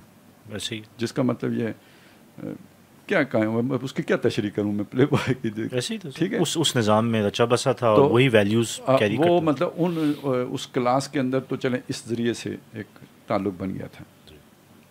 होता है बस जहाँ ख़वातीन में चर्चा होगा तो मर्द भी फिर उतनी रिस्पेक्ट देंगे ही चलें आना जाना जब हो गया तो हो गया। तो वो एक दफ़ा डॉक्टर साहब ने कहा था कि वो जो जुलेखा ने कोशिश की थी यूसुफ अलैहिस्सलाम की तो डॉक्टर साहब कहते हैं कि इकतदार की सीढ़ी तो मतलब वो अरूज की सीढ़ी तो लग गई थी लेकिन उन्होंने तो ये भी अरूज की सीढ़ी है ठीक है? ए, एक तरफ़ ये करेक्टर जहन में रखें इनका। दूसरी तरफ़ ये जहन में रखें ये जो बड़ा मुहब वतन वाला ये दो तीन मैं चीज़ें मिसालें आपको देता हूँ। सेवेंटी सिक्स में पहली दफ़ा मशहूरी हुई सिडनी टेस्ट था। और उसमें छः विकटें, पहली इनिंग्स में छः विकटें, दूसरी इनिंग्स में दी। पाकिस्तान तीन टेस्टों की सीरीज़ थी। पहला टेस्ट एडिलेट में ड्रा हो गया था, दूसरा मेलबर्न में जो है ना बराबर हो गया ऑस्ट्रेलिया जीत गया। तो सिडनी टेस्ट पाकिस्तान जीत के सीरीज़ बराबर की थी और उसमें हीरो इमरान खान था, बारह विकटें ली थी। तो अब वहाँ से उनकी वो बॉलिंग चमक गई। और उसके बाद ऑस्ट्रेलिया, वेस्ट इंडीज़ का दौरा था। इस दौरान ऑस्ट्रेलिया का एक शख्स था, कैरी पैकर। उसने पहली दफ़ा एक लीग जो है ना जो आजकल बहुत सी लीगें हो रही हैं उसने ये अनाउंस की। और खिलाड़ियों को बहुत पैसे इतना बोर्ड पैसे नहीं देता था जितने पैसे। अच्छा उस वक्त पाकिस्तान में शायद अभी प्रोफेशनल क्रिकेट का आगाज़ भी नहीं हुआ था। ये शौकीन लोग खेलते थे। तो या अभी हुआ था दो डेढ़ दो साल हुए होंगे।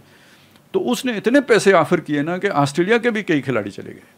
अच्छा। वेस्ट इंडीज़ के चले गए इंग्लैंड के चले गए। तो पाकिस्तान के भी चले गए। तो आईसीसी ने तमाम उन प्लेयर्स पे जो कैरी पैकर खेलने के लिए गए पाबंदियाँ लगा दी। तो इन सारे हमारे खिलाड़ियों ने पाबंदियाँ कबूल की पाकिस्तान वो मुहब वतनी सिर्फ़ कैरी पैकर के पैकेज की नज़र हो गई। ठीक है? ये ये ये ये मैंने आपको सेवेंटी सिक्स सेवन की बात बताई। यानी वो फिर खेल नहीं सके वो खिलाड़ी? नहीं बाद में फिर 78 में आ गए ना। मायदा हुआ फिर वो सारे ले लिए लोगों ने दोबारा। अब 78 में जब ये वापस आए हैं, तो पाकिस्तान का टूर किया इंडिया ने। इंडिया आया पाकिस्तान। और इंडिया पाकिस्तान आया तो पाकिस्तानी मुश्ताक मोहम्मद एक थे, वो कप्तान थे और जब पता नहीं पंद्रह सालों के बाद दौरा था कि क्या, काफ़ी अरसे के बाद इंडिया वाले ये पाकिस्तान आए थे। यहाँ पे एक टेस्ट शायद ड्रा हो गया, दूसरे टेस्ट में पाकिस्तान जीता और तीसरा टेस्ट कराची में था, वो भी पाकिस्तान जीता। लेकिन बड़ा सनसनी खेज़ मुकाबले के बाद जीता।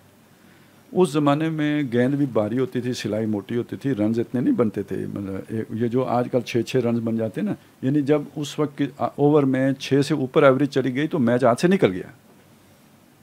अच्छा। हाँ नहीं छः से ऊपर तो सवाल ही नहीं पैदा होता बने ना। वो उस वक्त अभी वो जो है ना वाइट बॉल का भी ये कानून नहीं आया था। ये तो खैर वनडे की बात है ये तो टेस्ट मैच था। तो उसमें जो है ना आ, कोई आखिरी थोड़ा आधा घंटा और 20 मिनट ट्री ओवर जो थे उसमें एक सौ चौंसठ के करीब रन पाकिस्तान ने बनाने थे कराची में ये मैच था। तो बहरहाल वो काफ़ी फंसा हुआ मैच था। उसमें यानी जब दो दूसरी विकेट गिरी ना तो पहले बैटिंग आर्डर चेंज करके मुश्ताक मोहम्मद ने इमरान खान को भेज दिया। ये तो डाउन द आर्डर खेलते थे ये लेकिन वहाँ उन्हें चौथे नंबर पे भेज दिया। और इमरान खान ने आके ना बिशन सिंह बेदी के एक ओवर में उन्नीस रन बनाए। अब आप समझे ना, एक छक्का लगा, फिर चौका लगा, फिर छक्का लगा। बहरहाल मैं ये आपको बताना चाह रहा हूँ, उसके बाद बिशन सिंह बेदी को इंडिया में किसी ने खिलाया नहीं। कैप्टन था बिशन सिंह बेदी, खुद बॉलिंग कर रहा था, खुद मार पड़ी, फिर क्रिकेट ख़त्म हो गई उसकी। तो इंडियन इंडियंस ने क्यों उसकी क्रिकेट ख़त्म की? ठीक है? ये तो अब बस मैं सवाल ही छोड़ रहा हूँ। लेकिन उससे इमरान खान और क्रिकेट दो चीज़ें आसमान पे चली गई। नहीं तो उससे पहले क्रिकेट कौन इतना सुनता था? अच्छा। तो क्रिकेट के आसमान पे जाने का फ़ायदा किसने उठाया? जियाउलाक ने। देखें अब ये सन कौन सी है? सेवेंटी एट मार्शल आर्ट कब लगा? सेवेंटी सेवन कौम को खुशियाँ कौन दे रहा है जी? इंडिया को हरा के। दौर किसका है? जियाउलाक और क्रिकेट मैच जीतने की छुट्टी अनाउंस कर रहा है के यानी वो कौम पूरी तरह उसके अंदर इन्वॉल्व हो गई। अब हर बच्चा गली मोहल्ले क्रिकेट शुरू हो गई क्रिकेट मशहूर हो रही है फिर उसके साथ वो कंपनियाँ वो जो सरमादारों का सारा जो मस्त रखो यानी इमरान खान का सेलिब्रिटी स्टेटस पूरे प्लानिंग के तहत क्रिएट किया गया। बिल्कुल जैसे आप वो होते हैं ना कि जी करेक्ट वो करते हैं इमेज बिल्डिंग जी सुपरस्टार सुपरस्टार बनाते हैं ठीक है?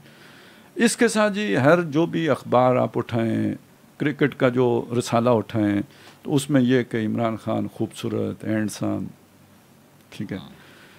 मैंने खुद इमरान खान का साहब का इंटरव्यू पढ़ा गया ये पता नहीं लोग मुझे क्यों खूबसूरत कहते हैं। मेरी बहनें तो बचपन में मुझे बंदर कहती थी। लेकिन जब हर कोई कहेगा, आप खूबसूरत हैं तो फिर लोगों को खूबसूरत लगने लगते हैं नहीं भी लगते, चूँकि हो सकता है मुझे सही समझना आती हो। कहवान साहब कहते हैं, खूबसूरत है। असद भाई कहते हैं खूबसूरत है तो खूबसूरत ही होगा मैं कमज़ोर आदमी हूँ। अगर आप तलबी से इबलीस किताब पढ़ें तो उसमें भी ये है और यानी इस तरह यानी जैसे आप कहते हैं ना झूठ की भरमार कर दो तो बस वो चीज़ हो जाती सच्ची लगना सच्ची लगने लग तो ये एक इमेज बन गया। तो सर एटीज़ तक तो बात यहाँ तक चली गई थी ना कि जब गेंद के पीछे इमरान खान दौड़ते थे तो स्टेडियम खड़ा हो जाता था। रन्स के लिए दौड़ना तो बात की बात है ना चौका छक्का तो बात की बात है। फील्डिंग में गेंद के बॉलिंग का स्टार्ट लेके वापस आना, वो तो उनका एक ख़ास स्टाइल था, वहाँ पहुँचना रन अप स्टार्ट पे उधर जाके तो फिर ज़रा बाल सीधे करना तो वो ज़रा जो, वो आज भी उनका नखरा तो बाकी है। तो फिर एक ख़ास तरीके से दौड़ना, जुल्फ़ें लहरा रही हैं, और वो कमेंट्रेटर की आवाज़ में जोश पैदा हो रहा है। तो वो वो सारी जो है ना, जो सीन अगर आप ग्राउंड में बैठ के कभी आपने मैच देखा हो तो आपको अंदाज़ा होगा कि वो मखसूस इंक्लूजर्स में क्या होता था? ठीक है ना, वो वारफगी का क्या आलम होता था? और वालहानापन की क्या शान होती थी? तो ये ये ये सारा हमने आँखों से देखा है, ये ये चीज़ें बड़ी। एक चीज़ हमेशा तंग करती थी कि यार, ये शोहरत बंदा जब रिटायर्ड होगा तो कैसे मतलब घर बैठेगा? अच्छा इस दौरान मज़ीद जो है ना, इमेज बिल्डिंग जियाउल्ला साहब ने कहा, जी, मैं आपको एजाजी, मैं रिटायर्ड होता हूँ। नहीं नहीं नहीं, आप रिटायर्ड ना हो, मैं आपको एजाजी वज़ीर बनाता हूँ। उसने कहा मैं वज़ीर चीज़ नहीं बनता चलो रिटायर्ड नहीं होता ठीक है जी। तो सर इसी प्रोसेस के साथ तो शौकत खानम भी स्टार्ट हुआ अच्छा देखे ना अब वो उधर में आ रहा हूँ कि भाई रिटायर्ड होकर क्या करना है तो फिर अब यहाँ से शौकत खानम शुरू हो गया। हम्म। जो एक शौकत खानम शुरू हुआ ना तो बहुत से लोगों ने कहा कि ये बंदा अब सियासत में आएगा। अब ये कौन बंदा है जिसने वजारत ठुकराई थी? ये कौन बंदा है जो कहता है सियासत गंदा खेल है? हम्म। और ये कौन बंदा है जो कहते हैं यार ये इंडिया पाकिस्तान लड़ते क्यों हैं? ये क्रिकेट का मैच करा लें जो जीत जाए कश्मीर उसको दे दें। ठीक है? ये ये इमरान अच्छा, खान स्टेटमेंट है। ये स्टेटमेंट है। अच्छा। कश्मीर उसको दे दें। इससे आप उनकी सियासी बालगी नजरी का बसीरत का अंदाज़ा लगाएँ। और सीरियसनेस का भी पता लग जाएगा। तो जब कोई कहेगा ये सियासत में आएगा पेशन गोई करेगा कौन मानेगा कि ये सियासत में आएगा? हाँ। वो तो माँ माँ के नाम पे हॉस्पिटल हाँ। तो खैर वो हॉस्पिटल बन गया। सबने देखा, फिर सियासत भी शुरू हो गई। वैसे सर आप इजाज़त दें, क्रिस्टीन बेकर की किताब है, जो कन्वर्ट हुई थी from M T V to Mecca conversion की। उसमें क्योंकि ये इमरान खान की वन ऑफ़ द महबूबाज भी रही हैं, और काफ़ी टाइम इन्होंने इकट्ठा गुजारा है। तो उस किताब को पढ़ के जो इमरान खान की शख्सियत सामने आती है, जिसमें क्रिकेटर क्रिकेटर से फिलंथ्रॉफी की साइड जो ये शौकत खानम, उसके साथ एक और एंगल भी है, वो है सूफ़ीज़म।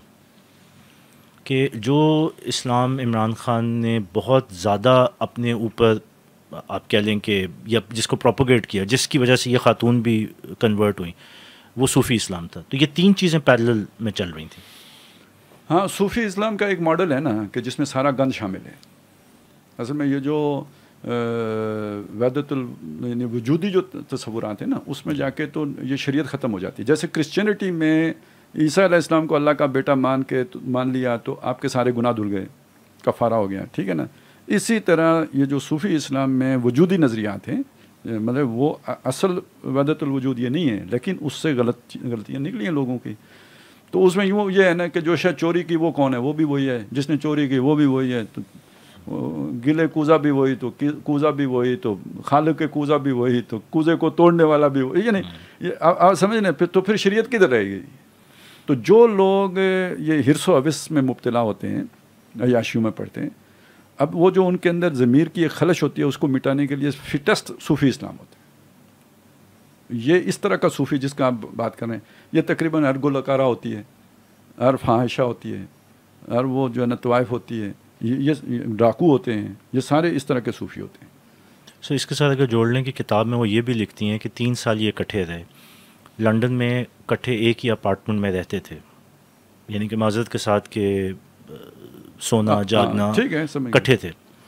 और साथ ही ये तबलीग भी कर रहे थे और इनको इस्लाम की हिदायत भी दे रहे थे और ये इंस्पायर हो के इमरान ख़ान से तो इन्होंने फिर अल्टीमेटली चलिए हिदायत तो अल्लाह की देने वाली ज़ात है लेकिन वो जो कैरेक्टर है कि एक तरफ़ वो गुनाह कबीरा भी कर रहा है हम्म। वो जिना का भी मरतकब है वो लंदन में भी इकट्ठे रह रहे हैं वो पाकिस्तान भी रिपीटेडली आके ट्रिप्स कर रहे हैं और इकट्ठे रह रहे हैं।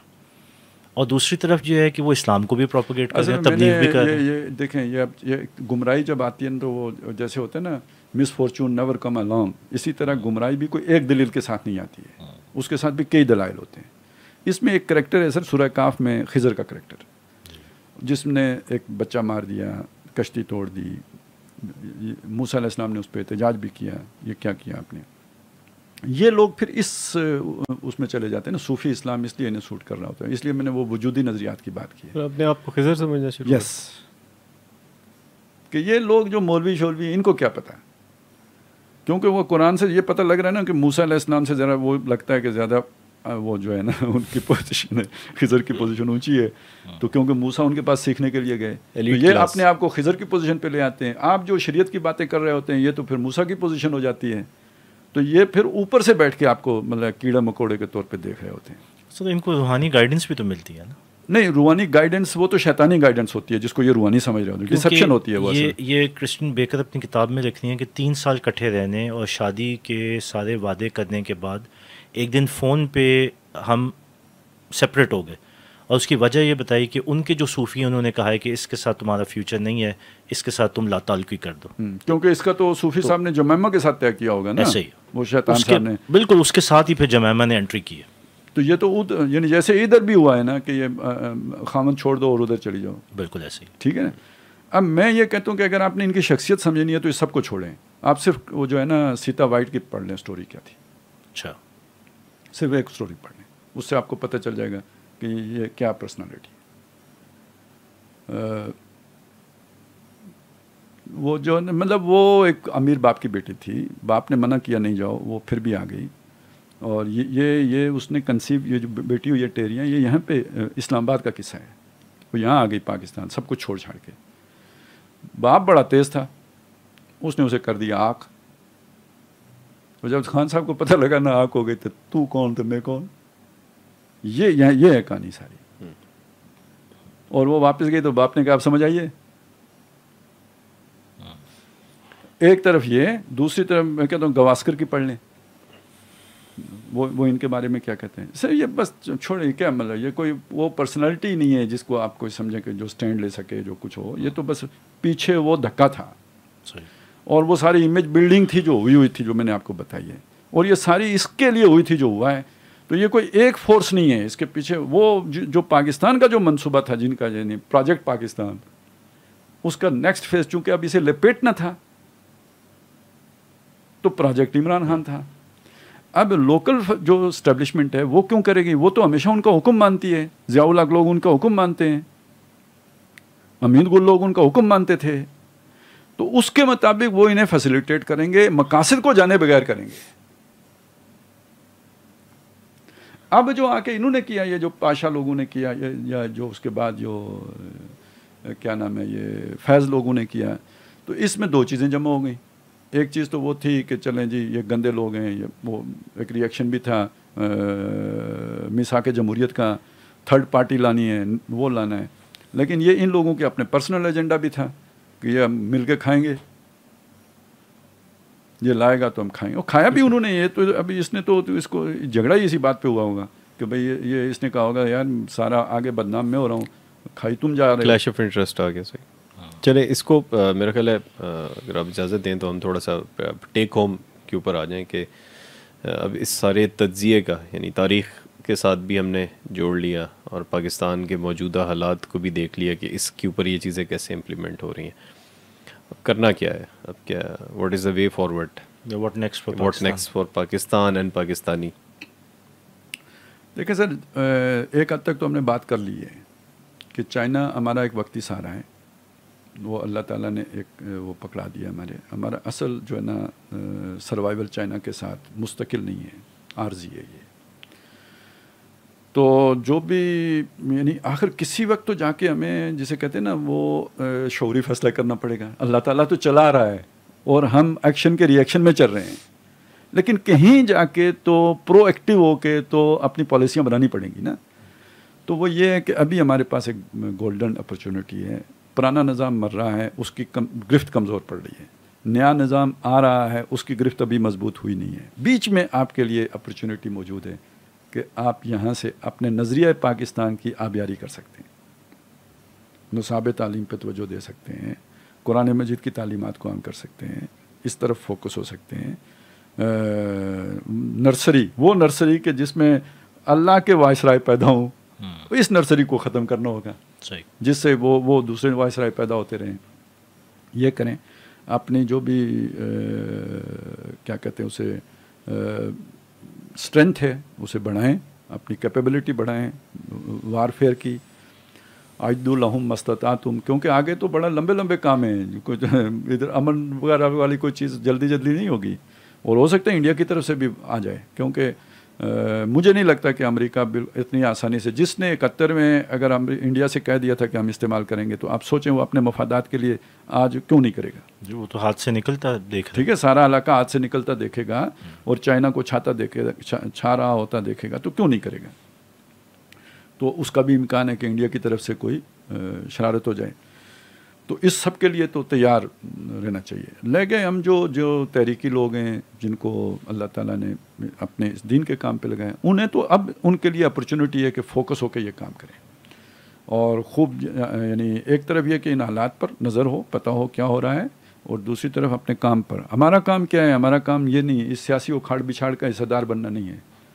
वो एजुकेशन जागो और जगाओ। जागो और जगाओ ठीक है ना? और कुरान के ज़रिए से जागो और जगाओ। यानी कोई अपना कोई पैगाम नहीं है कुरान अल्लाह का पैगाम है उसके ज़रिए से जागो और जगाओ। और ये सारे जो भी एफर्ट हैं इसमें यानी जो क्या होता है जब आप किसी भी रिएक्शनरी प्रोसेस या रिएक्शनरी चैन में आते हैं तो गलत करते हैं। किसी के जुल्म के नतीजे में किसी की ज़्यादती के नतीजे में उससे अपना दामन बचा के रखो पीसफुल और वो जो अदम तशद वाली वो अपनी एजुकेशन वाला काम करते रहो। बात जो सही है वो करने से कभी ना चूको कहो वो बात जो ठीक है। और ये ये तो हम लोगों के लिए। और ये अच्छा एक चीज़ ये भी समझनी है बड़ा मसला पैदा हो जाता है कि जब हमें दीन से हमारी रगबत जुड़ती है, कोई अल्लाह रसूल की बात आती है तो ये सारा निज़ाम हमें काफराना लगता है, जिसके नतीजे में सारे इदारे भी काफिर हो जाते हैं, सारे लोग भी काफिर हो जाते हैं। ये जो थिंकिंग है ना, ये बड़ी नेगेटिविटी पैदा करती है, और ये ये दुश्मन के हाथ में खेलने का ज़रिया बन जाती है। अब आप सोचें, ये हमारे इदारे हैं, इनमें जो भी खराबियाँ रही, क्यों नहीं रही हमने, ये क्या कहा हमने? ये वायसराय किसके थे? किसकी नर्सरियाँ थी? यही कहा ना? बिल्कुल। और हैं भी। अभी कोई पूरी तरह उससे निकले नहीं है। लेकिन अगर ये न होते अभी जो 19 फरवरी नहीं सत्ताईस फरवरी को 19 को जब इंडिया ने हमारा जहाज़ गिरा दिया था और नहीं आके बम मार दिए थे तो हमने उनका जहाज़ गिराया। तो ये ये किसने किया? ये ये किसका फेल था? मतलब ये रिटेलिएट किसने किया? मतलब सर्वाइवल के जामिन भी तो ये ठीक है उन्होंने किया ना? तो हम जब कहते हैं कि ये एया का अमल एक तदरीजी अमल है तो आज़ादी उस तदरीज का स्टेप टू है। स्टेप थ्री है जिसे हम नज़रिया पाकिस्तान की बालादस्ती कहते हैं। स्टेप टू के बगैर स्टेप थ्री हासिल हो सकते हैं। नहीं। तो आज़ादी को बरकरार रखना जो उसमें लगे हुए हैं हम उनकी गलतियों पर उन्हें मुतनबे करें लेकिन ये कि उनको यानी जिसे बिल्कुल ही गैर मुतल्लिक समझना और उन्हें दुश्मन की सफ में खड़ा कर देना जबकि वो आज़ादी के लिए तो मेहनत कर रहे हों ये नादानी की बात है। सही। यानी उन्होंने आपके लिए आपका स्टेप टू बाकी रखा हुआ है जिस पर आप खड़े हैं जहाँ से आप स्टेप थ्री पे जा सकते हैं। ये स्टेप टू ही ना रहा तो आप स्टेप वन पे आ जाएँगे। तो स्टेप वन से स्टेप थ्री पे जाने के लिए आपको फिर स्टेप टू बनाना पड़ेगा। सही। और वो एटमी नहीं होगा। क्योंकि स्टेप वन पे आने का मतलब है ना आपकी फौज रही ना आपका टेक्नोलॉजी कुछ भी नहीं रहा। ज्योग्राफी भी नहीं रही। ज्योग्राफी भी नहीं रही। जी। तो फिर स्टेप टू पे जाना यानी दोबारा आज़ादी की जद्दोजहद करनी पड़ेगी। तो जो हासिल है उसको हाथ से मत गिनवाओ। हम्म, मतलब पिछहत्तर साल पीछे नहीं मत जाओ। जी। ठीक है ना? जिन्होंने उसको बरकरार रखने के लिए जो कर रहे हैं अगर आप उनके साथ शामिल नहीं होते हक रखते हो ना शामिल हो। लेकिन उनके मुखालिफ जाने का हक नहीं रखते। हाँ उनकी तायद करो अप्रिशिएट करो। ये ये भी आपकी जिम्मे क्यों? उन्होंने आपकी आज़ादी आपके लिए बरकरार रखी हुई है जहाँ बैठ के आप स्टेप थ्री की बातें कर सकते हो। इस चीज़ की आज़ादी है ना। ये आज़ादी है आपको। तो मेरे ख्याल में काफ़ी कॉम्प्रिहेंसिव तरीके से बात हमारे सामने आ गई है। और जो ये इस पूरे का जो खुलासा ख़ास तौर पे आपने आखिर में बयान किया कि अब इसमें करने का काम क्या है और बुनियादी रहनुमाई क्या है और जो एक बहुत इंपॉर्टेंट बात बार बार रिपीट हुई है वो ये है कि चीज़ों को कनेक्ट करके हमें समझना है और उस प्रोसेस को समझना है जिस तरीके से आपने बात कही है कि इस पूरे प्रोसेस को समझेंगे तो हम कोई इससे नतीजा निकाल पाएँगे वरना यह है कि कंफ्यूज ही रहेंगे। तो दुनिया के लेवल पे भी एक नया फ़ेज़ एक ट्रांजिशन है और अल्लाह के सिस्टम में भी हमें नज़र आ रहा है कि एक नया ट्रांजिशन हो रही है। हो रही है। तो अल्लाह ताला से हम दुआ करते हैं कि जो भी इसके अंदर से खैर है वो हमें हमारी कौम को वो अता कर दे और हम सबको हिम्मत दे और तौफीक दे कि हम इस यानी अहयाए दीन का जो काम है उसके अंदर जो भी हिस्सा डाल सकते हैं वो डालें और इसी के लिए हमें कोशिश करनी चाहिए। आमीन। आमीन। ठीक है नाजरीन ये आज का हमारा प्रोग्राम था और इस दुआ के साथ हम अख्ताम करते हैं। अपना ख्याल रखिएगा। अल्लाह हाफिज़।